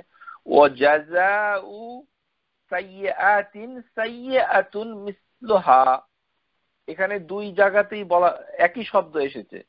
জাজাউ সাইয়াতিন সাইয়াতুন মিসলুহা অনুবাদ হয়েছে কি? মন্দের প্রতিফল অনুরূপ মন্দ। এটা অনুবাদ হয়নি। সুবহানাল্লাহ। একই শব্দ। দুইটি মন্দ। আসলে তা নয়। প্রথম সাইয়াত হচ্ছে মানুষের কাজ মানে গুণা মানুষের অপকর্ম, মন্দ কাজ হিউম্যান অ্যাকশন আর পরের সাইয়াত হচ্ছে পানিশমেন্ট ইয়োকব আজাব মিনাল্লাহি তাআলা। আল্লাহ যে আজাব দিচ্ছে, সেটাই হচ্ছে এটার অর্থ। যে আল্লাহ সুবাহ বলছেন যে, এই যে মন্দ কাজের বিনিময়ে তাদেরকে শাস্তি দেওয়া হবে এবং অনুরূপ দেওয়া হবে, মিসলুহা। যেরকম মন্দ করবে, ঠিক তেমনই শাস্তি হবে। কিন্তু আপনি অনুবাদ পড়ে এটা বুঝতে পারবেন না। যেমন সুরা আর রহমানের অনুবাদ পড়ে আপনি বুঝতে পারবেন না। যে উত্তম পুরস্কারের অনুবাদ কি হয়েছে? যে উত্তম কাজের বিনিময়ে উত্তম পুরস্কার, তারপরে ব্র্যাকেটের ভিতরে প্যারেন্থেসিসে জান্নাত, এটা এটা সেটা লিখে রেখেছে। আসলে এইভাবে অনুবাদ করতে গেলে মূল বিষয় পাঠকরা বুঝতে পারবে না। তাহলে, হাল জাজা উল এহসান ইল্লাল এহসান তাহলে একই শব্দ দুইবার কোরআনে আরেকটা জায়গায় এসেছে, সেটি হচ্ছে সুরা সুরা, আয়াত নম্বর চল্লিশ, যেটার অর্থ ভিন্ন হয়ে যায়। প্রথমটি হচ্ছে ও মিসলুহা। প্রথমটি হচ্ছে, হিউম্যান অ্যাকশন, মানুষের কাজ হ্যাঁ আমাল আল ইনসান যেটা সে মন্দ করছে, এবং আল্লাহ বলছেন যে, তাকে অনুরূপ শাস্তি দেওয়া হবে। পরের শব্দটা সাইয়াত হলেও এটি গুণা অর্থে বোঝানো হয়নি। এটি বোঝানো হয়েছে পানিশমেন্ট আজাব এবং সমপরিমাণ। আর এখানে আল্লাহ বলছেন যে, আমরা যদি এবাদত গুলি এক্সেলেন্ট ভাবে করতে পারি মোয়ামেলাতগুলো মানুষের মানে যে আচার আচরণ গুলিকে যদি আমরা এক্সেলেন্ট পর্যায়ে নিয়ে যেতে পারি, তাহলে এটা এই হিউম্যান অ্যাকশনটা হয়ে যাবে। আল এহসান কেননা এহসানের আরেকটি অর্থ হচ্ছে আল ইতকান ইতকান অর্থ হচ্ছে do do to do excellent excellent এটাই বাংলা। বাংলা হচ্ছে এক্সেলেন্ট এক্সেলেন্ট করতে হবে। তাহলে এক্সেলেন্ট যদি এবাদত হয় আর মুআমালাত যদি এক্সেলেন্ট হয়ে যায়, তাহলে এটার বদলে আল্লাহ হচ্ছে আল এহসান মানে চূড়ান্ত এহসান হচ্ছে আল জান্না তাকে আল্লাহ পুরস্কার দিবে। আল জাজা উল এহসান মানে এটি হচ্ছে মানে ইমাম আল কুরতুবি এহসান সম্পর্কে বলতে গিয়ে এই আয়াতটাকে নিয়ে এসেছেন। তিনি আবার আরেকটি বাকারার আয়াত দিয়ে ব্যাখ্যা করার চেষ্টা করেছেন ও আহসিনু ইন্নাল্লাহ ইউহিব্বুল মুহসিনিন। যে যে কোনো কাজকে সুন্দর করে করাও এক্সেলেন্ট করো। কেননা আল্লাহ সুবাহ তালা মহসিনদেরকে পছন্দ করেন। যারা এহসান করেন, তাদেরকে আল্লাহ ভালোবাসেন। হ্যাঁ। ফিল কোরআন ও তাওয়াবুল আল্লাহ তাআলা ইহসানের প্রতি আগ্রহ দেখাচ্ছেন কোরআনুল কারিমের ভিতরে যে এটার যে সওয়াব, এটার যে পুরস্কার অনেক বড়, এটাই মানুষকে কাজের মাধ্যমে পরিপূর্ণতা লাভ করতে হবে। তাতেই তার মানে মর্যাদা উপরে উঠবে। আল্লাহ সুবাহ তখন মহসিনকে ভালোবাসবে। হ্যাঁ তাহলে অন্য অন্য যারা ব্যাখ্যাকারী, তারা বলছেন যে এহসানের শাব্দিক অর্থ দুই রকম। আল আউয়াল, ইতকান, একটি আমরা বলেছি, আরেকটি হচ্ছে ওয়াল ইজাদাতু মানে কোয়ালিটি। আল ইজাদাতু, যে আল ইতকান এবং আল ইজাদাতু, যে এক্সেলেন্ট এবং কোয়ালিটি মানে এর মানে ইয়েটা, কোয়ালিটিটা কেমন? আর হচ্ছে এক্সেলেন্ট হিসাবে এটা কেমন হচ্ছে? এটার একটি আয়াত দ্বারা দলিল দেওয়া হয়েছে, সুরা সেজদা, আয়াত নম্বর সাত আল্লাজি আহসানা কুল্লা শাইইন খালাকাহু। আল্লাজি আহসানা কুল্লা শাইইন খালাকাহু। এই আয়াত হচ্ছে এটার দলিল। যে মানে যারা কাজটুকু করবে, আমলে সোয়ালে প্রত্যেকটি কাজ। কুল্লেশাইন খালাকো আল্লাহ সুবাহ তাআলা প্রত্যেকটা জিনিসকে মানে তৈরি করেছেন মানে একেবারে এক্সেলেন্ট উপায়ে এক্সেলেন্ট সৃষ্টির ভিতরে সেটা এসেছে। তারপরে আরেকটি অর্থ, যেটি অর্থ দুই নাম্বার, এটি হচ্ছে আল ইনআম ওয়াল আপা ইনআম মানে হচ্ছে যে, যেটা যোগান দেওয়া হয়।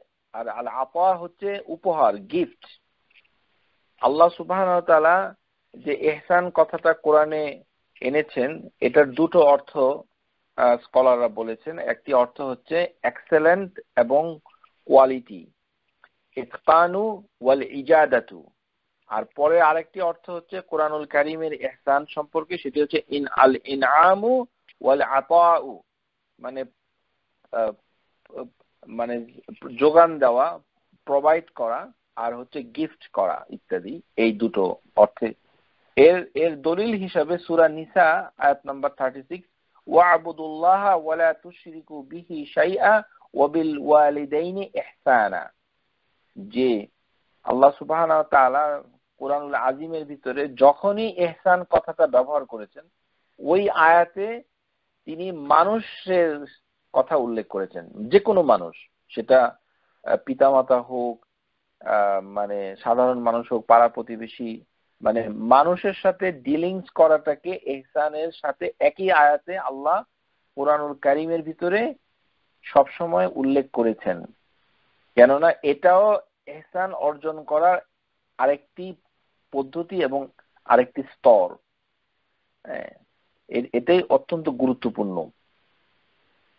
সো এই যে এহসান, এটি মানে মানে মানুষ যে পাবে, এটির উপরে ইসলাম প্রতিষ্ঠিত হয়েছে বিল্ড করেছে। আলাইহি খাইরান আল্লাহ এটাকে ভালো করেছেন, উত্তম দান করেছেন। এই কারণে আল্লাহ সুবহান তাআলা, এটি যেহেতু আল্লাহ সুবহান তাআলা মানে মর্যাদা দিয়েছেন অনেক উপরে সেই কারণে আল্লাহ তাআলা ওই মুহসিনিনকে ভালোবাসেন। ফাল্লাহু ইউহিব্বুল মুহসিনিন। সূরা বাকারা আমরা আগে আয়াতে বলেছি, ওয়া আহসিনু ইন্নাল্লাহ ইউহিব্বুল মুহসিনিন। তারপরে কোরআনুল আজিমের ভিতরে এসেছে যে, ওয়াল্লাহু মাআল্লাযিনা ইয়াত্তাকু ওয়া কানুল মুহসিনিন। যে আল্লাহ সুবহানাহু ওয়া তাআলা মুহসিনিনদের সাথে থাকেন। সাথে ইন্নাল্লাহ মাআল্লাযিনা ইত্তাকু যারা আল্লাহকে মানে ভয় করে এবং গুনাহকে এড়িয়ে চলে তাকওয়া অর্জন করে ওয়াল্লাযিনা হুম মুহসিনিন তারাই হচ্ছে মুহসিন মুহসিনিন وقال تعالى سورة عنكبوت والذين جاهدوا فينا لنهدينهم سبلنا وإن الله لمع المحسنين আল্লাহ মহসিনদের সাথে থাকেন আমরা আল্লাহ সুবহান তালার মা মারিফা যখন আলোচনা করেছি ওই বক্তৃতায় বলেছি যে আল্লাহ সুবহান তালা তার নলেজের মাধ্যমে, তার জ্ঞানের মাধ্যমে সমস্ত সৃষ্টিকে এবং তার কৌয়া তার শক্তির মাধ্যমে এবং তার ক্ষমতা, কুদরা এর মাধ্যমে তিনি সমস্ত সৃষ্ট জগৎকে পরিবেষ্টন করে এসে, রেখেছেন। সবকিছুই তার মানে নিকটে রয়েছে এর মাধ্যমে। কিন্তু আল্লাহ সুবহানা জাত, যেটি এসেন্স সেটি মানুষের কাছে চলে আসে না, যেটি আমাদের দেশের অনেক লোকই মনে করে যে আল্লাহ তার কলবের ভিতরে চলে এসেছে, তার সাথে থাকে।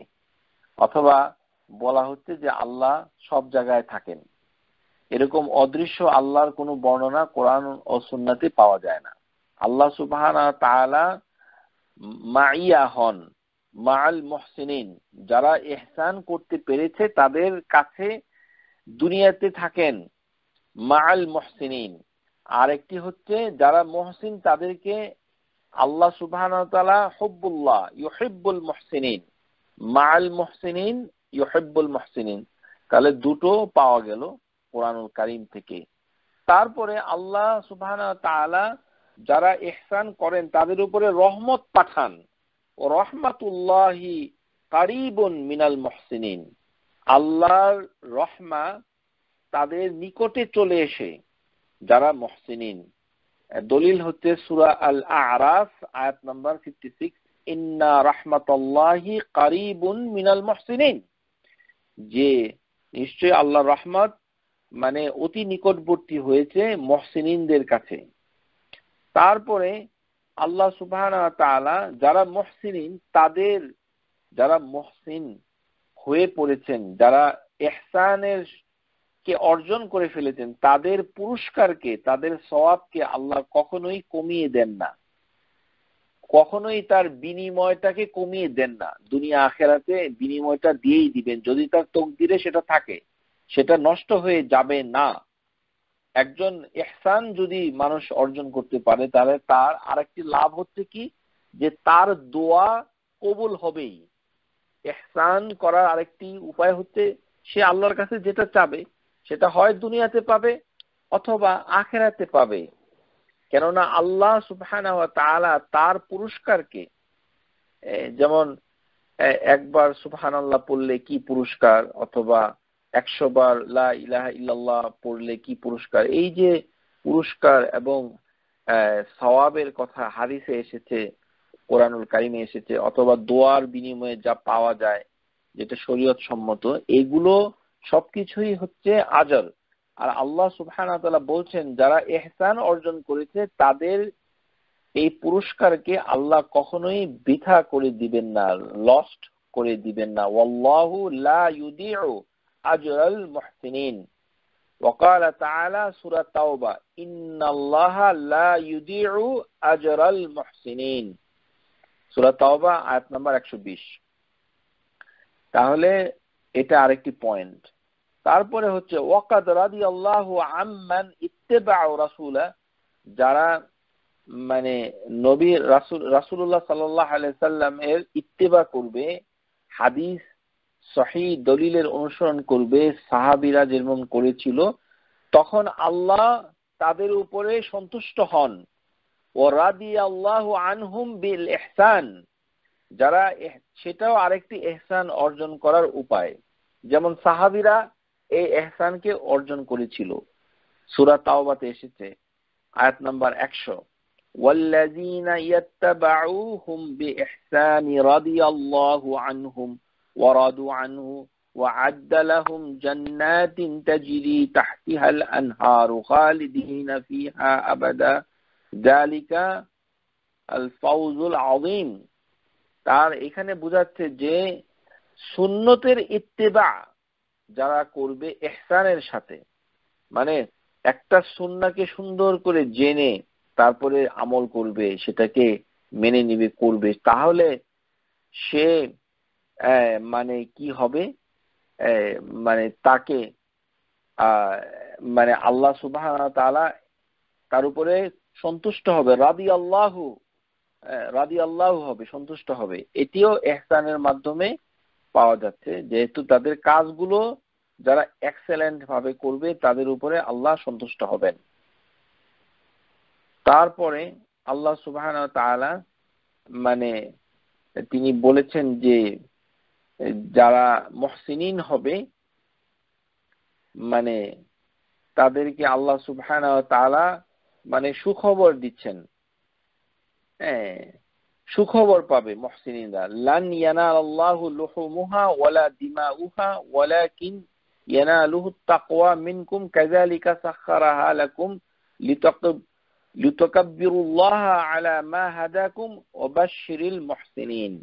তার মানে মহসিনদেরকে আল্লাহ সুসংবাদ দেন। এটি হচ্ছে মানে আরেকটি বিষয়। আর যারা মহসিনিন হচ্ছে, তাদের মানে তারা যে ইসলামে দাখিল হয়েছে, সেটাকে তারা কখনো ফাটল ধরাতে পারবে না। তাদের ইমানে কোনো ফাটল ধরবে না। যারা মহসিনিন হচ্ছে, তারা এমন ভাবে মানে ইমানের হাতলটাকে ধরেছে যে আল্লাহ বলছেন যে সেটা মহসিনদেরকে সে মর্যাদা দেওয়া হচ্ছে, সেটা কখনো ফেটে যাবে না, সেটা শক্ত হয়ে থাকবে। এটি সোরা লোকমানে এসেছে, ওয়ামান ইউসলিম ওয়াজহাহু ইলাল্লাহি, যারা আল্লাহর প্রতি সারেন্ডার করেছে, ওহুয়া মুহসিনুন, ফাকাদ ইসতামসাকা বিল উরওয়াতিল উসকা ইলাল্লাহি আকিবাতুল উমুর। এই হচ্ছে দলিলে বলা হয়েছে। যে আল্লাহ সুবহান মানে যা, যেভাবে তিনি বিভিন্ন আয়াতে কারিমার ভিতরে বলেছেন যে একটি বিষয়ে আল্লাহ বলেছেন বিল ইসলাম, যে ইহসানের মাধ্যমে ইসলামের সাথে অ্যাটাচ থাকা যায়। এটিও আল্লাহ বলেছেন। সুরা বাকারা, আয়াত নাম্বার একশো বারো। বালা মান আসলামা ওয়াজহুল্লাহ ওয়াজহু লিল্লাহি ওয়া হুয়া মুহসিনুন। ফালাহু আজরুহু ইনদা রাব্বিহি খাউফুন হুম ইয়াহজানুন। তার মানে যারা ইসলামে দাখিল হয়েছে, তারা মাকরুনান বিল ইসলাম। ইসলামের সাথে তারা যুক্ত থাকতে পারবে এহসানের মাধ্যমে। জিক্রুল এহসান ফিল কোরআন। এহসানের কথাগুলো কোরআনে এভাবে এসেছে। তারপরে হচ্ছে এহসানের মাধ্যমে ইমানের সাথে সে অ্যাটাচ থাকতে পারবে। ওয়াল মাকরুনান বিল ইমান ওয়া তাকওয়া ওয়াল আমাল সালেহ। যেমন আল্লাহ বলেছেন সূরা আল মাঈদা লাইসা আলাল লাযিনা আমানু ওয়া আমানু ওয়া আমিলুস সালিহাতি জুনাহুন ফিমা তাঈমু তাঈমু ইযা মাত্তাকাও وآمنوا وعملوا الصالحات ثم اتقوا وآمنوا وثم اتقوا وأحسنوا والله يحب المحسنين এই আয়াতের ভিতরে আল্লাহ সুবহান তাআলা এই আয়াতটুকুকে আপনারা লক্ষ্য করুন এখানে কিন্তু আল্লাহ সুবহান তাআলা পরপর তিনবারের মতো তিনি আমানু ওয়াত্তাকু আমানু ওয়া আমিলু বলেছেন লাইসা আলাল্লাযিনা আমানু ওয়া আমিলু সলিহাত একবার বলেছেন তারপরে মা তাকা ওয়া আমানু ওয়া আমিলু সলিহাত। আরেকবার বলেছেন, আবার সুম্মা ইত্তাকাও ওয়া আমানু, সুম্মা ইত্তাকাও সুম্মা ইত্তাকাও এই যে ইত্তাকু, একবার, দুইবার, তিনবার তিনি এই আয়াতে বলেছেন, আল্লাহ তাআলা আমানু একবার, দুইবার এবং তিনবার বলেছেন। এই আয়াতটা হচ্ছে সুরা আল মাইদা আয়াত। এখানে আমানু তিনবার এসেছে, একই আয়াতে। ইত্তাকু তিনবার এসেছে। কিন্তু এটা আল্লাহ সুবাহ কেন বললেন? তার মানে বারবার ইমানকে রিনিউ করতে, সংশোধন করে, বারবার ইমানে ফিরে গিয়ে, বারবার ভালো কাজ করলে আল্লাহ সুবাহ তৃতীয় পর্যায়ে তাকে এহসানের পাওয়ার তৌফিক দিয়ে দিচ্ছেন। ওয়া আহসিনু, ওয়াল্লাহু ইউহিব্বুল মুহসিনিন। তার মানে মাকরুনান বিল ইমান ওয়া তাকওয়া, আল ওয়ামাল সালে একটি ভালো কাজে অ্যাটাচ থাকা যায় এহসানের মাধ্যমে। এটি হচ্ছে এহসানের উপকারিতা ফাইদা তারপরে আল্লাহ সুবহানা তাআলা মানে এহসান করাটার পদ্ধতির ভিতরে পরীক্ষা রেখেছেন। ওয়াল ইহসানু ওয়া হুয়া বিহি ইবাদি। ইবাদাহু যার বান্দাকে আল্লাহ এহসানটাকে পরীক্ষা হিসাবে রেখেছেন যে কোন কাজটা সে ভালো করে সেটাকে আল্লাহ পরীক্ষা করছেন ফামান আহসানা ফালাহুল হুসনা تبارك الذي بيده الملك وهو على كل شيء قدير الذي خلق الموت والحياة ليبلوكم أيكم أحسن عملا কাজটি ছোট হোক কিন্তু সেটা সুন্দর করে এক্সেলেন্ট ভাবে করছে কিনা, এটাকে, তাকে পরীক্ষা হিসাবে দেওয়া হয়েছে। যেমন সুরাল কাহাফের ভিতরে আল্লাহ বলেছেন, আয়াত নম্বর সাত, ইন্না জাআলনা মা আলাল আরদি জিনাতান লাহা লিনাবলুয়াহুম আইয়ুহুম আহসানু আমালা। তার মানে এটিকে ইবতিলা, পরীক্ষা হিসাবে এহসানের একটি ব্যবহার কোরআনুল কারিমের ভিতরে আল্লাহ সুবাহ তাআলা বলেছেন। আল্লাহ সুবাহ তাআলা আবার বলেছেন যে এটি হচ্ছে একটি হসন সওয়াব, হসন মানে যে দুনিয়া এবং আখেরাতে, দুনিয়াতে যদি সওয়াব হয় ইহসিনু ভালো কাজ করে, তাহলে আখেরাতে আরও উত্তম মানে বিনিময় পাওয়া যাবে সেটা আমরা আলোচনা করেছি। সেটা আবার আরেকটি সুরা নাহাল, আয়াত নাম্বার একত্রিশ, তিরিশের ভিতরে সেটি এসেছে। এইভাবে আল্লাহ সুবাহ তাআলা মানে বিভিন্ন আয়াতে যে কে উত্তম কাজ করবে, সেই কাজটুকুকে আল্লাহ সুবাহ তাআলা মানে বলেছেন। ওমান, ওমিনাল এহসান রাওয়াইতিল হকুকুল গাইরি যে হকুক এই যে অধিকার যেটা করতে হবে ওয়াবুদুল্লাহ ওয়ালা তুশরিকু বিহি শাইআ ওয়াবিল ওয়ালিদাইনি ইহসানা ওয়াবিজিল কুরবা ওয়াল ইয়াতামা ওয়াল والمساكين والجار ذي القربى والجار الجنوب والصاحب بجنب وابن السبيل وما ملكت أيمانكم মানে আশেপাশে দাস দাসী থেকে শুরু করে পথযাত্রী, পথচারী, পাড়া প্রতিবেশী, নিকটতম প্রতিবেশী, মিসকিন, ইয়াতিম, নিকটতম আত্মীয়, তাদের এবং পিতা মাতা সবার প্রতি এহসান করতে হবে। মানে এহসান করাটার মানেটা কি আপনাদেরকে এখন একটু উদাহরণ দিয়ে বুঝাচ্ছি। যখন আমরা বলি বিররুল ওয়ালিদাইন হাদিসের ভাষায়, তখন বোঝানো হয় বিররুল ওয়ালিদাইন মানে হচ্ছে পিতা মাতার প্রতি কর্তব্য, যেটা আমাদের করতে হবে, সেটাকে করা, সেটাকে বলা হয় হাদিসের ভাষায় বিররুল ওয়ালিদাইন।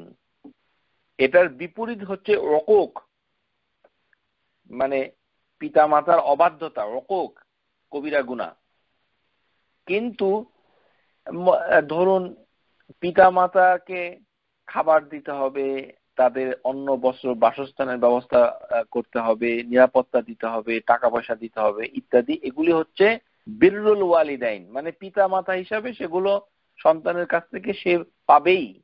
আর সন্তানের উচিত সেটা করা। তখন এটাকে বলা হয় বিরুল ওয়ালিদাইন। কিন্তু আল্লাহ সুবাহ কিন্তু সেটা বলেন নাই। বলেছেন, আল এহসান তার থেকে বেশি করাটাকে বলা হয় এহসান বিল ওয়ালিদাইন। বুঝতে পেরেছেন? এহসান বিল ওয়ালিদাইন ওবিল এহসান ওয়ালিদাইন ওয়ালিদাইন এহসানা এর মানে হচ্ছে যে বিররুল বিররু থেকেও অনেক বেশি করাটাকে এহসান করা হচ্ছে। বেস্ট। মানে এক্সেলেন্ট করে সেবা করতে বলেছেন আল্লাহ সুবহানাহু তাআলা। হ্যাঁ। মানে কে কাজটাকে কত এক্সেলেন্ট ভাবে করবে সেটাই হচ্ছে আল এহসান ওহুয়া মায়নাহু আল ইতকান যে জামিল। মানে কে কাজটাকে সুন্দর করে করবে বেস্ট করে করবে। ওয়ালা তাস্তাবিল হাসানাতু ওয়ালা আদফা বিল্লাতি হিয়া আহসান। এখানে আল্লাহ সুবা সুরা ফুসিলাত আয়াত নাম্বার পঁয়ত্রিশ এবং চৌত্রিশ, এই আয়াতে এহসান সম্পর্কে একটি ধারণা দিয়েছেন। আল্লাহ সুবাহ তারা যে মন্দ কাজটাকে বাতিল করে, নতুন ভালো কাজটাকে করে দেওয়াটাই হচ্ছে এহসান এটি হচ্ছে আরেকটি এহসান যে মন্দ এবং ভালো কখনো এক হতে পারে না। একটা আরেকটাকে সরিয়ে দিয়ে মানে কে আহসান করবে? হামিম এটা যদি করা হয়, তখন মানে শত্রু বন্ধু হয়ে যেতে পারে। তো আল্লাহ সুবহান সেটি সুরা ফসিলাতে এভাবে নিয়ে এসেছেন। তার মানে এহসান হচ্ছে যে এটি একটি মানে মানে এমন একটা প্রক্রিয়া যে কাজটাকে সুন্দর করে করা।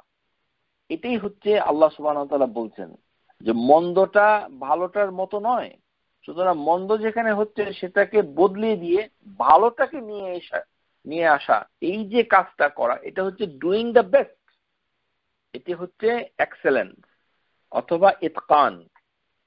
হাদিসের ভিতরে এটার একটি ধারণা পাওয়া যায় দা দা ইরাতুল এহসান ফিল মাহফুবুল হাদিস। হাদিসের ভিতরে এসেছে একটি হাদিস। আপনাদের কাছে তুলে ধরছি, রওয়াহু মুসলিম রাহিমাহুল্লাহ তাআলা।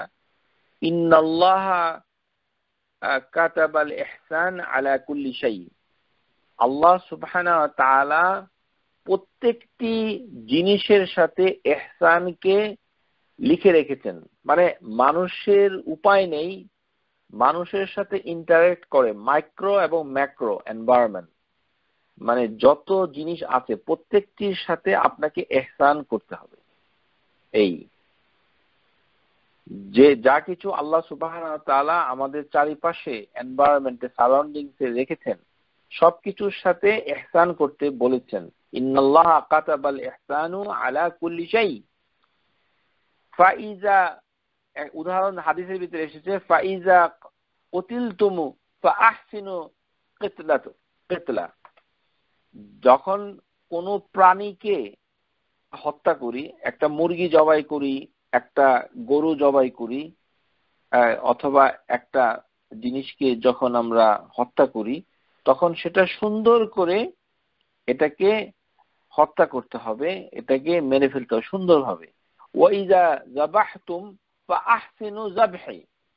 তাকে যখন জবাই করা হয় একটা পশুকে, তখন সেটাকে আহসিনু জাবহে এখানে এহসান করতে হবে। এই মানে চাকুটাকে ধার দিতে হবে, এটাই হাদিসে এসেছে। ওই যা জবাহ তুমু ফা আহসিনু জাবহে ওয়ালিউহিদ্দা আহাদুকুম সফরাতিহি, এবং তার যে সফরা, তার যে চাকু, সেটাকে ধার দিতে হবে। ওয়ালিউহিদ্দা আহাদুকুম সফরাতিহি, ওয়ালিউরিহু জিবহাতিহি, এবং সে যেন কষ্ট না পায়। তার মানে এহসান পশুর সাথেও করতে হবে। মানুষের সাথে তো করতে হবেই। হাদিসের ভিতরে এসেছে যে একটা পশুকে জবাই করলেও এহসান করতে হয়। এই কারণে রাসুল্লাহ সাল্লাহ বলেছেন, ইন্নাল্লাহ কাতাবাল এহসান আলাকুল্লি সাই যখন আমরা পশুটাকে হত্যা করছি, সেটাকে সুন্দর করে হত্যা করতে হবে যেন সে কষ্ট না পায়। খুব ধার, খুব দ্রুত তাকে গলায় ছুরি চালাতে হবে। ওই মানে ঘাড়ের উপরে ছুরি চালাতে পারা যাবে না। তাকে মেশিন দিয়ে মেরে ফেলা যাবে না। তাকে কষ্ট দিয়ে মা মারা যাবে না। ইত্যাদি ইত্যাদি। সেটি সেটি হাদিসের ভিতরে এসেছে। সেটি হচ্ছে আরেক ধরনের এহসান সুতরাং আল্লাহ সুবাহ মানে এহসানকে তিনি বাড়িয়ে দিচ্ছেন। তিনি যে এহসান তাকে হাল জাজাউল এহসান এহসানটাকে যে বাড়াচ্ছেন মানে এটি অতিরিক্ত করে দিচ্ছেন।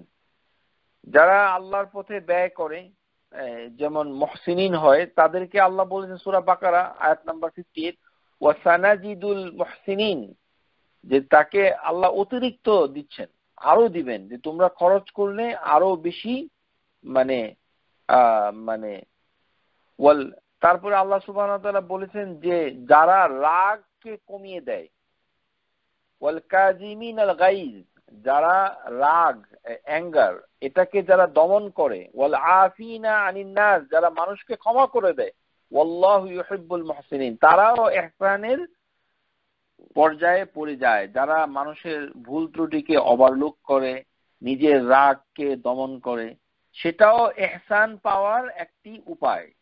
এই কারণে আল্লাহ সুরা আলী ইমরান আয়াত নাম্বার একশো চৌত্রিশে বলেছেন আল্লাজিনা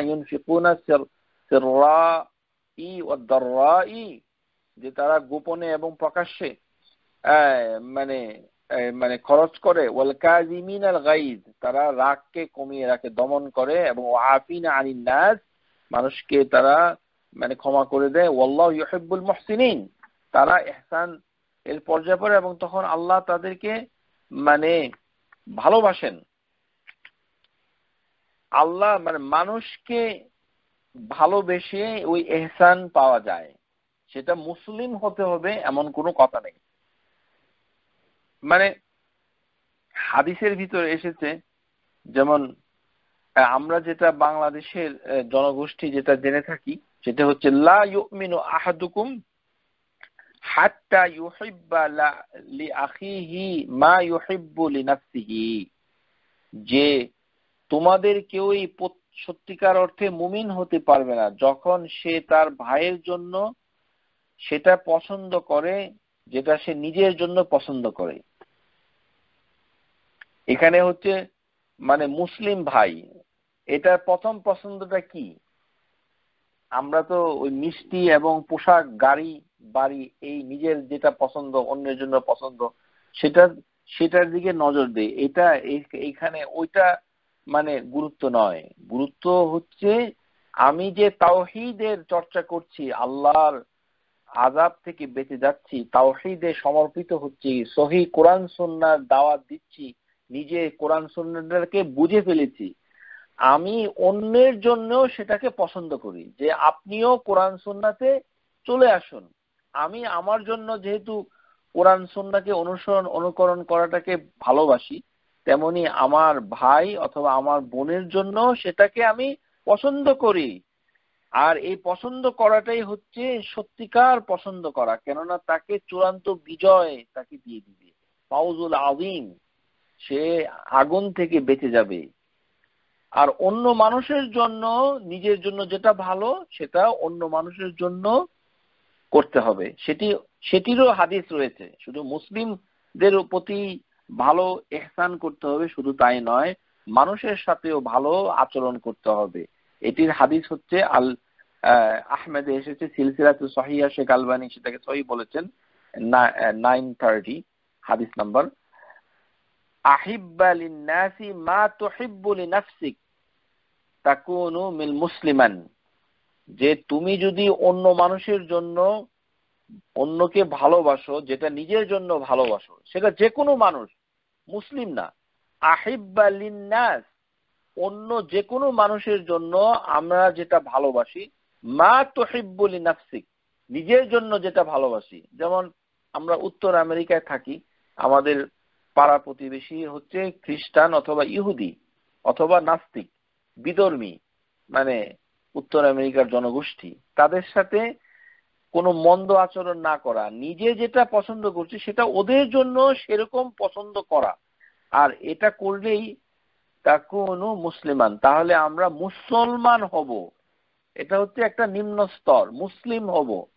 আর মুমিন হব তখনই যখন তাওহিদকে ভালোবাসবো, অন্যের জন্য ভালোবাসবো, শিরিককে ঘৃণা করব, অন্যের জন্য শিরিককে ঘৃণা করব, সহি সন্নাকে পছন্দ করব, অন্যের জন্য সেটাকে পছন্দ করব।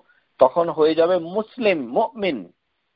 আশা করি এটা বুঝতে পেরেছেন। উত্তম কাজ করার বিভিন্ন অর্থ রয়েছে। আমরা এখন কিছু দু একটা এক্সাম্পলে যাব, ইনশাআল্লাহ তাআলা আপনাদের সাথে। যেমন সালামের যে একটা ব্যাপার রয়েছে, সালাম। আমরা যে মানে সালাম দেই, তো এই সালামটা মানে এহসান হয় কীভাবে?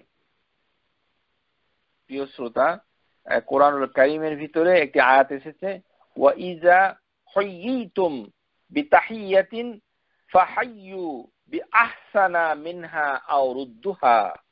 এখানে আল্লাহ প্র্যাকটিক্যাল একটা উদাহরণ দিয়ে বুঝাচ্ছেন যে এহসান কীভাবে অর্জন করতে হয়।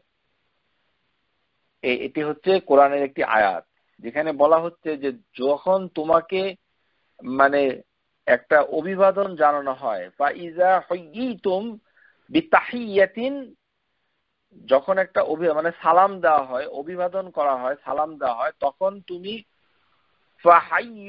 আহসানা উত্তম উত্তম ভাবে অভিবাদনটাকে ফিরিয়ে দাও। আও রুদ্দুহা বি আহসানা মিনহা। এটাই হচ্ছে এহসান এক্সেলেন্স করা। যেমন সালামের ক্ষেত্রে হাদিসে এসেছে যেমন এসেছে, আন্না রাজুলান মাররা আলা রাসুলিল্লাহ ওহুয়া ফিল মাজলিস। মজলিসে বসেছে একজন লোক এসে বলল, সালামুন আলাইকুম। তখন নবী সাল্লাহ সাল্লাম বললেন, আশুরু হাসানাত। তার জন্য হচ্ছে, দশ নেকি। সুম্মা মাররা রাজুলুন আখের। আরেকটা লোক এসে বলল কি, সালামুন আলাইকুম ও রহমাতুল্লাহ। তখন নবী সাল্লাহ সাল্লাম বললেন, ইশরুনা হাসানাত। তার জন্য বিশটা নেকি। তার মানে কোরআনে বলেছে, বি আহসানা মিনহা। এহসান করছে এক্সেলেন্ট করছে excellent good better best excellence করে দিচ্ছে। মোকারাবান। যে তার উপরের দিকে সুপারলেটিভ ডিগ্রির দিকে চলে যাচ্ছে। তাহলে বিশটা নেকি? ফামাররা রাজুলুন আখের। আরেকটি ব্যক্তি এসে বলল কি, সালামুন আলাইকুম ও রহমাতুল্লাহি ওবারাকাতুহু। তখন নবী সাল্লাহ সাল্লাম বললেন হাসানাতান, যে তার জন্য হলো তিরিশটা নেকি। এই যে নেকির সংখ্যাটা বাড়লো, সেটি হচ্ছে এলকা ও সালাম সালাম দেওয়ার সময়। তার মানে বোঝা যাচ্ছে সালাম দেওয়ার সময় বারাকাতাহু পর্যন্তই থামতে হবে। এর বেশি বলা যাবে না। প্রিয় শ্রোতা, আবারও বলছি যারা সালামের সাথে মাকফেরা বলেন দেওয়ার সময় এটি ঠিক নয়। এর কারণ হচ্ছে আল্লাহ সুবাহ তারা কোরআনুল আজিমের ভিতরে বলেই দিয়েছেন যে কোথায় থামতে হবে জিনিসটি দেওয়ার জন্য। রহমাতুল্লাহি আলাইকুম আহলাল বেইত। এটি হচ্ছে কোরআনুল করিমের একটি আয়াত, নাম্বার হচ্ছে সেভেন্টি আর হচ্ছে সুরা হচ্ছে আপনার সুরাহুদ সুরাহুদ এখানে ইব্রাহিম আলাইহি সালামের কাছে যে ফেরেস্তারা যে সালাম করেছিল, সেই সালামটা আল্লাহ সুবহানাহু ওয়া তাআলা কোরআনুল কারীমে তুলে ধরেছেন। রহমাতুল্লাহি ওবারাকাতুহু ওয়ালাইকুম আহলাল বাইত। তার মানে রহমা এবং বারাকা, এই দুইটা চাওয়ার সাথেই সালামটাকে শেষ করে দিতে হবে। সালামুন আলাইকুম ও রহমাতুল্লাহি ওবারাকাতুহু এই পর্যন্তই হচ্ছে এলকা সালাম। এর বেশি নয়। এবং এটা যে বলবে সে তিরিশটা নেকি পাবে। এখন এটাকে ফিরিয়ে দিতে গেলে সে কীভাবে ফিরিয়ে দিবে? ফিরিয়ে দিতে গেলে সে এটাই বলবে ওয়ালাইকুম আসসালাম ও রাহমাতুল্লাহি অবারাকাতুহু এর বেশি সে বলবে না। এটি হচ্ছে অধিকাংশ স্কলারদের ওপিনিয়ন কেননা আল্লাহ সুবাহ তাআলা বারাকাতাহু, রহমাতুল্লাহি ও বারাকাতুহুতে থেমে গেছেন সুতরাং আমাদেরকেও এখানে থামতে হবে। কিন্তু শেখ আল আলবানি রাহমাহুল্লাহ তাআলা তিনি সিলসিলাতিল আহাদি সহিহার ভিতরে একটি হাদিস নিয়ে এসেছেন। সেটি হচ্ছে হাদিস নাম্বার হচ্ছে এক হাজার চারশো উনপঞ্চাশ এই হাদিসের এসেছে কুন্না ইজা সাল্লামা নবী সাল্লাহ আলাই সাল্লাম আলাইনা কুলনা وعليك السلام ورحمة الله وبركاته ومغفرته যখন নবী সাল্লাহ আলী সাল্লাম তিনি আমাদিগকে সালাম দিয়েছিলেন তখন আমরা রদ্দুস সালাম আমরা সালামটাকে ফিরিয়ে দিয়েছিলাম এক্সেলেন্ট ওয়েতে মানে এর থেকে একটু বেশি মানে ফিরিয়ে দিয়েছিল বি আহসানা মিনহা বেটার দেন ইট কেননা আল্লাহ বলেছেন, আয়াতের ভিতরে যেটা এসেছে, সেটি হচ্ছে বি আহসানা মিনহা আও রুদ্দুহা। যে যখন তোমরা ফিরিয়ে দেবে, তখন উত্তম ভাবে ফিরিয়ে দাও। তো সেখানে তারা বলেছিল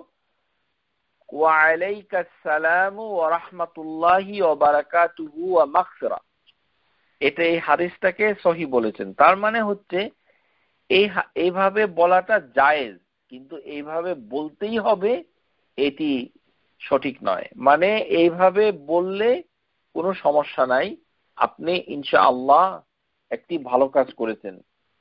এটাই ধরব। কিন্তু এটা বললে নেকি চল্লিশটা হবে কিনা, এটা আমরা বলতে পারব না। প্রিয় শ্রোতা, ভালো করে লক্ষ্য করুন।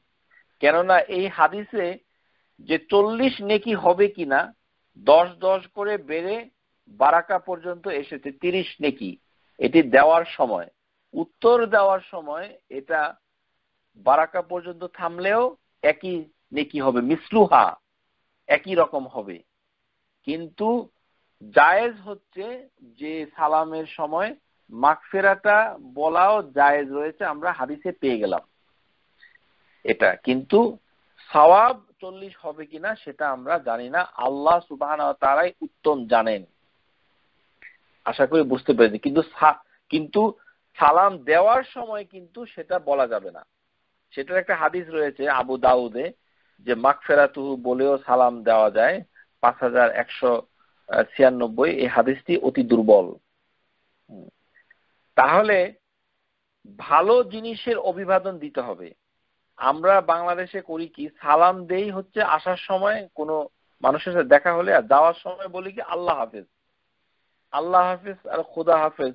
খোদা হাফেজ প্রমোশন পেয়ে আল্লাহ হাফেজ হয়েছে। এই কোনোটাই সহি কোরআন সুন্নাতে নাই।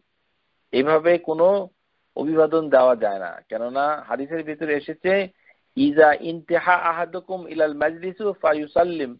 যখন তোমরা মজলিসে যাও, তখন সালাম দাও ইজা আরাদা আন ইয়াকুমা ফায়ুসাল্লিম। যখন তোমরা মজলিস থেকে চলে যাও, তখনও সালাম। দেখার সময়ও সালাম, চলে যাওয়ার সময়ও সালাম।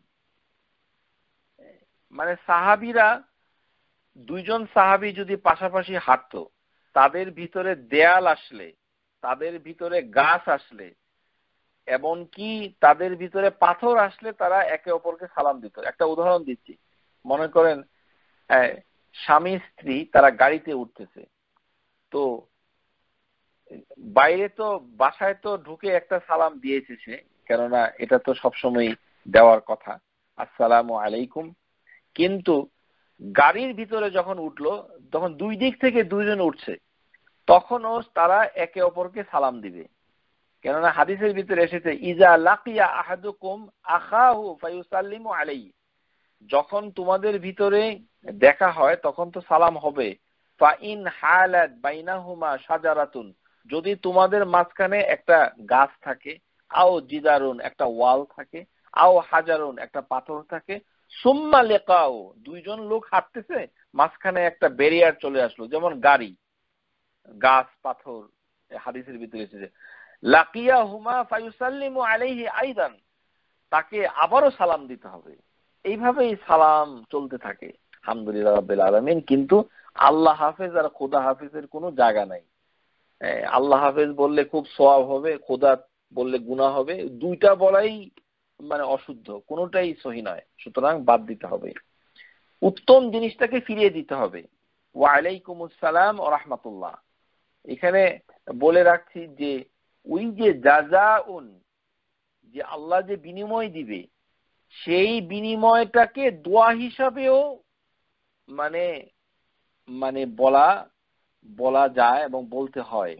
এই কারণে আমরা, আমাদের প্রতি যদি কোনো মানুষ ভালো কোনো কাজ করে, তখন আমরা তাদেরকে জাজাক আল্লাহ খাইরান কথাটা বলি।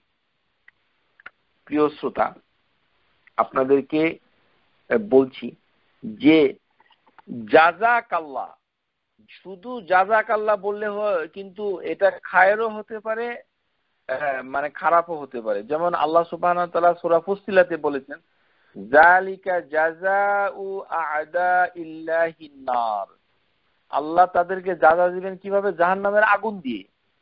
তো একজনকে বললাম, জাজাক আল্লাহ। তো জাজাক আল্লাহ মানে আল্লাহ তাকে কি দিবে? খায়ের না পানিশমেন্ট নাকি আগুন? কেননা আল্লাহ কোরআনে বলেছে একই শব্দ ব্যবহার করেছেন। জালিকা জাজাউ আদা ইল্লাহিন্নার এই কারণে জাজার সাথে ভালো জিনিস বলতে হবে। ওয়াম্মা মান আমিনা আমিলা সালিহা ফালাহু জাজাউ হুসনা। তাদের ভালো কাজ যারা করবে তাদের জন্য হচ্ছে জাজাউল হোসনা।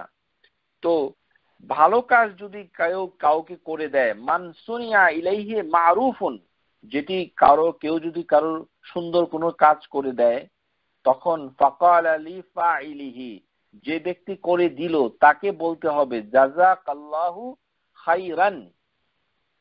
এই কথাটা বলার সাথে সাথে সে যেটা করা, করল, সেটাকে নবী সাল্লাহ বলেছেন, ফাকাদ আবলাগা ফির সানাই সে ওই ব্যক্তির উত্তম প্রশংসা করল।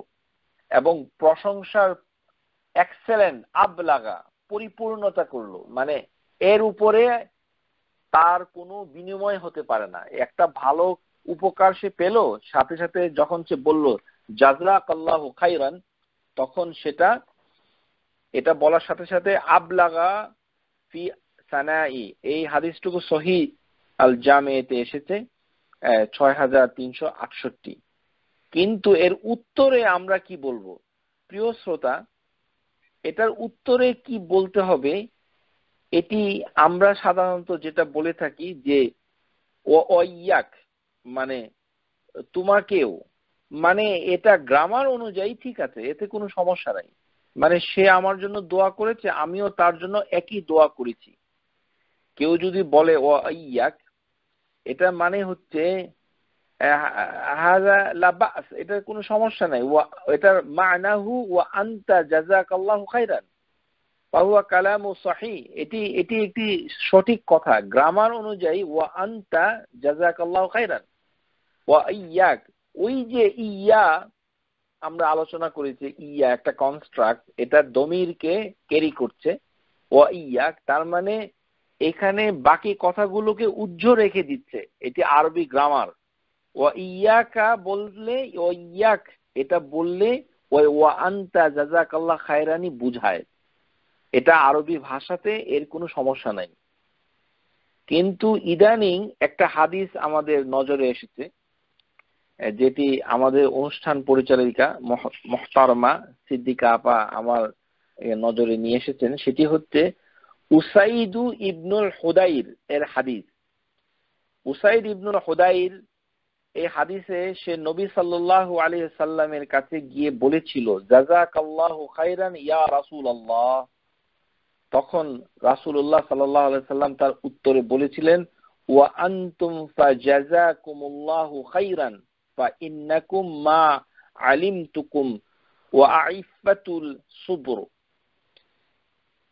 এটা এখন বলতে হবে কিনা? এটি হচ্ছে জায়েজ। আমরা যদি চাই, তাহলে এই হাদিসটাকে আমরা আমলে নিয়ে, ওয়া আনতুম ফাজাযাকুমুল্লাহু খাইরান এটা বলা যাবে, কোনো সমস্যা নাই। কিন্তু ওয়াইয়াক এটা বললে বেদাত হবে, অশুদ্ধ হবে, হাদিসের বিরুদ্ধে চলে যাবে, এটি ঠিক নয়। প্রিয় শ্রোতা, এই হাদিসটুকুকে শেখ আল আলবানি রাহেমাহুল্লাহ তাআলা তার তালিকাতুল হেসান আলা সহি ইবনে হিব্বান ছয়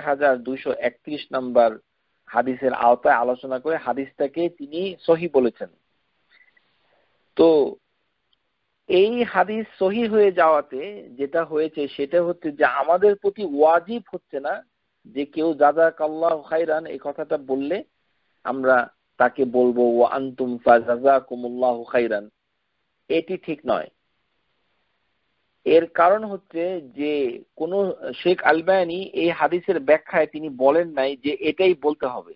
এটা ছাড়া ইয়াক বললে মানে অশুদ্ধ হবে সেটা তিনি বলেন নাই।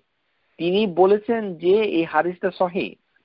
একটা হাদিস সহি হয়ে যাওয়ার মানে হচ্ছে যে এইভাবে রাসুল্লাহ সাল্লাহ সাল্লাম কোনো একদিন হয়তো অবস্থার পরিপ্রেক্ষিতে একটা লোককে এরকম করে বলেছিলেন। কিন্তু সাহাবিদের আমল থেকে মানে এটা পাওয়া যায় না যে তারা একে অপরকে জাজাকাল্লাহ খায়ের বললে তারা তাদেরকে ও আন্তুম ফাজাজা কুমুল্লাহ খায়রান বলতেন। এরকম কোনো দলিল পাওয়া যায় না। কেননা এই হাদিসটা একটাই বর্ণনা এসেছে ইবনে হেব্বান, তার বিখ্যাত কিতাব সহিহাতে।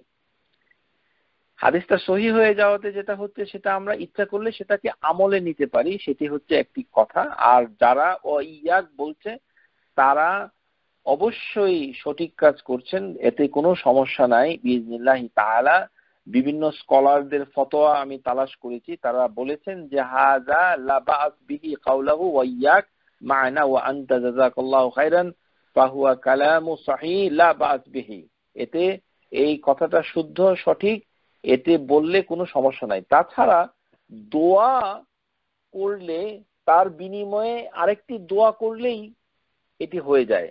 এটা এটা ওয়াইয়াক মানে হচ্ছে তোমার জন্য জাজাক আল্লাহ খায়রান। এই, এটাই এখানে দোয়াটাকে আরেকটি দোয়া করা হলো, কিন্তু এটাকে ফিরিয়ে দেওয়া হচ্ছে না। এটাকে রদ বলে না। কেননা সালাম হচ্ছে রদ করতে হয়, ফিরিয়ে দিতে হয়, কিন্তু দোয়া ফিরিয়ে দেওয়া হয় না। যেমন আমরা অসুস্থ ব্যক্তির জন্য দোয়া করছি আল্লাহমা ইশফিক। দেখো, অসুস্থ ব্যক্তি কি আমার জন্য কি কি বলবে? সবকিছু দোয়ার কোনো জবাব নাই, জবাব হয় না। দোয়ার বিনিময়ে দোয়া। একজন লোক আমার জন্য দোয়া করল, তাকেও আমি দোয়া করলাম। সেই দোয়া আপনি যেভাবে চান, সেভাবে ইচ্ছা করলেও করতে পারেন, অসুবিধা নেই। রহমাতুল্লাহ আলাইনা, আপনি বলতে পারেন। এরকম নানান ভাবে একজন লোক বলল, জাজাকাল্লাহ খায়রান। তার উত্তরে আপনি যদি অন্য একটা দোয়া করেন, এতেও কোনো সমস্যা নাই ইনশাআল্লাহ তাআলা। তবে ও ইয়াক বলাটা ভালো, কেননা একই দোয়াটা ফিরিয়ে দেওয়া মানে দোয়া করা হলো, অথবা ওয়া আনতুম ফাজাজাকুমুল্লাহ খাইরান এটা বলাও জায়েজ রয়েছে, ইনশাআল্লাহ তাআলা। অথবা অন্য কোনো দোয়া বারাক আল্লাহ ফিকুম ও বারাক আলাইকুম হালিকুম মালিকুম মানে আরেকটু উত্তম দোয়া করলেন, বেশি করলেন ইনশা আল্লাহ তাআলা, তাতে কোনো সমস্যা নাই, কারণ নিষেধমূলক এটা করাটা বেদাত হবে, এই ধরনের কথা কোনো স্কলার বলেন নেই। এবং আমরা সেটা সহিভাবে জানতে পারছি না। অকুল কাউলি হাজ আস্তাফির আসসালামু আলাইকুম রহমতুল্লাহি ওবরাকাতুহু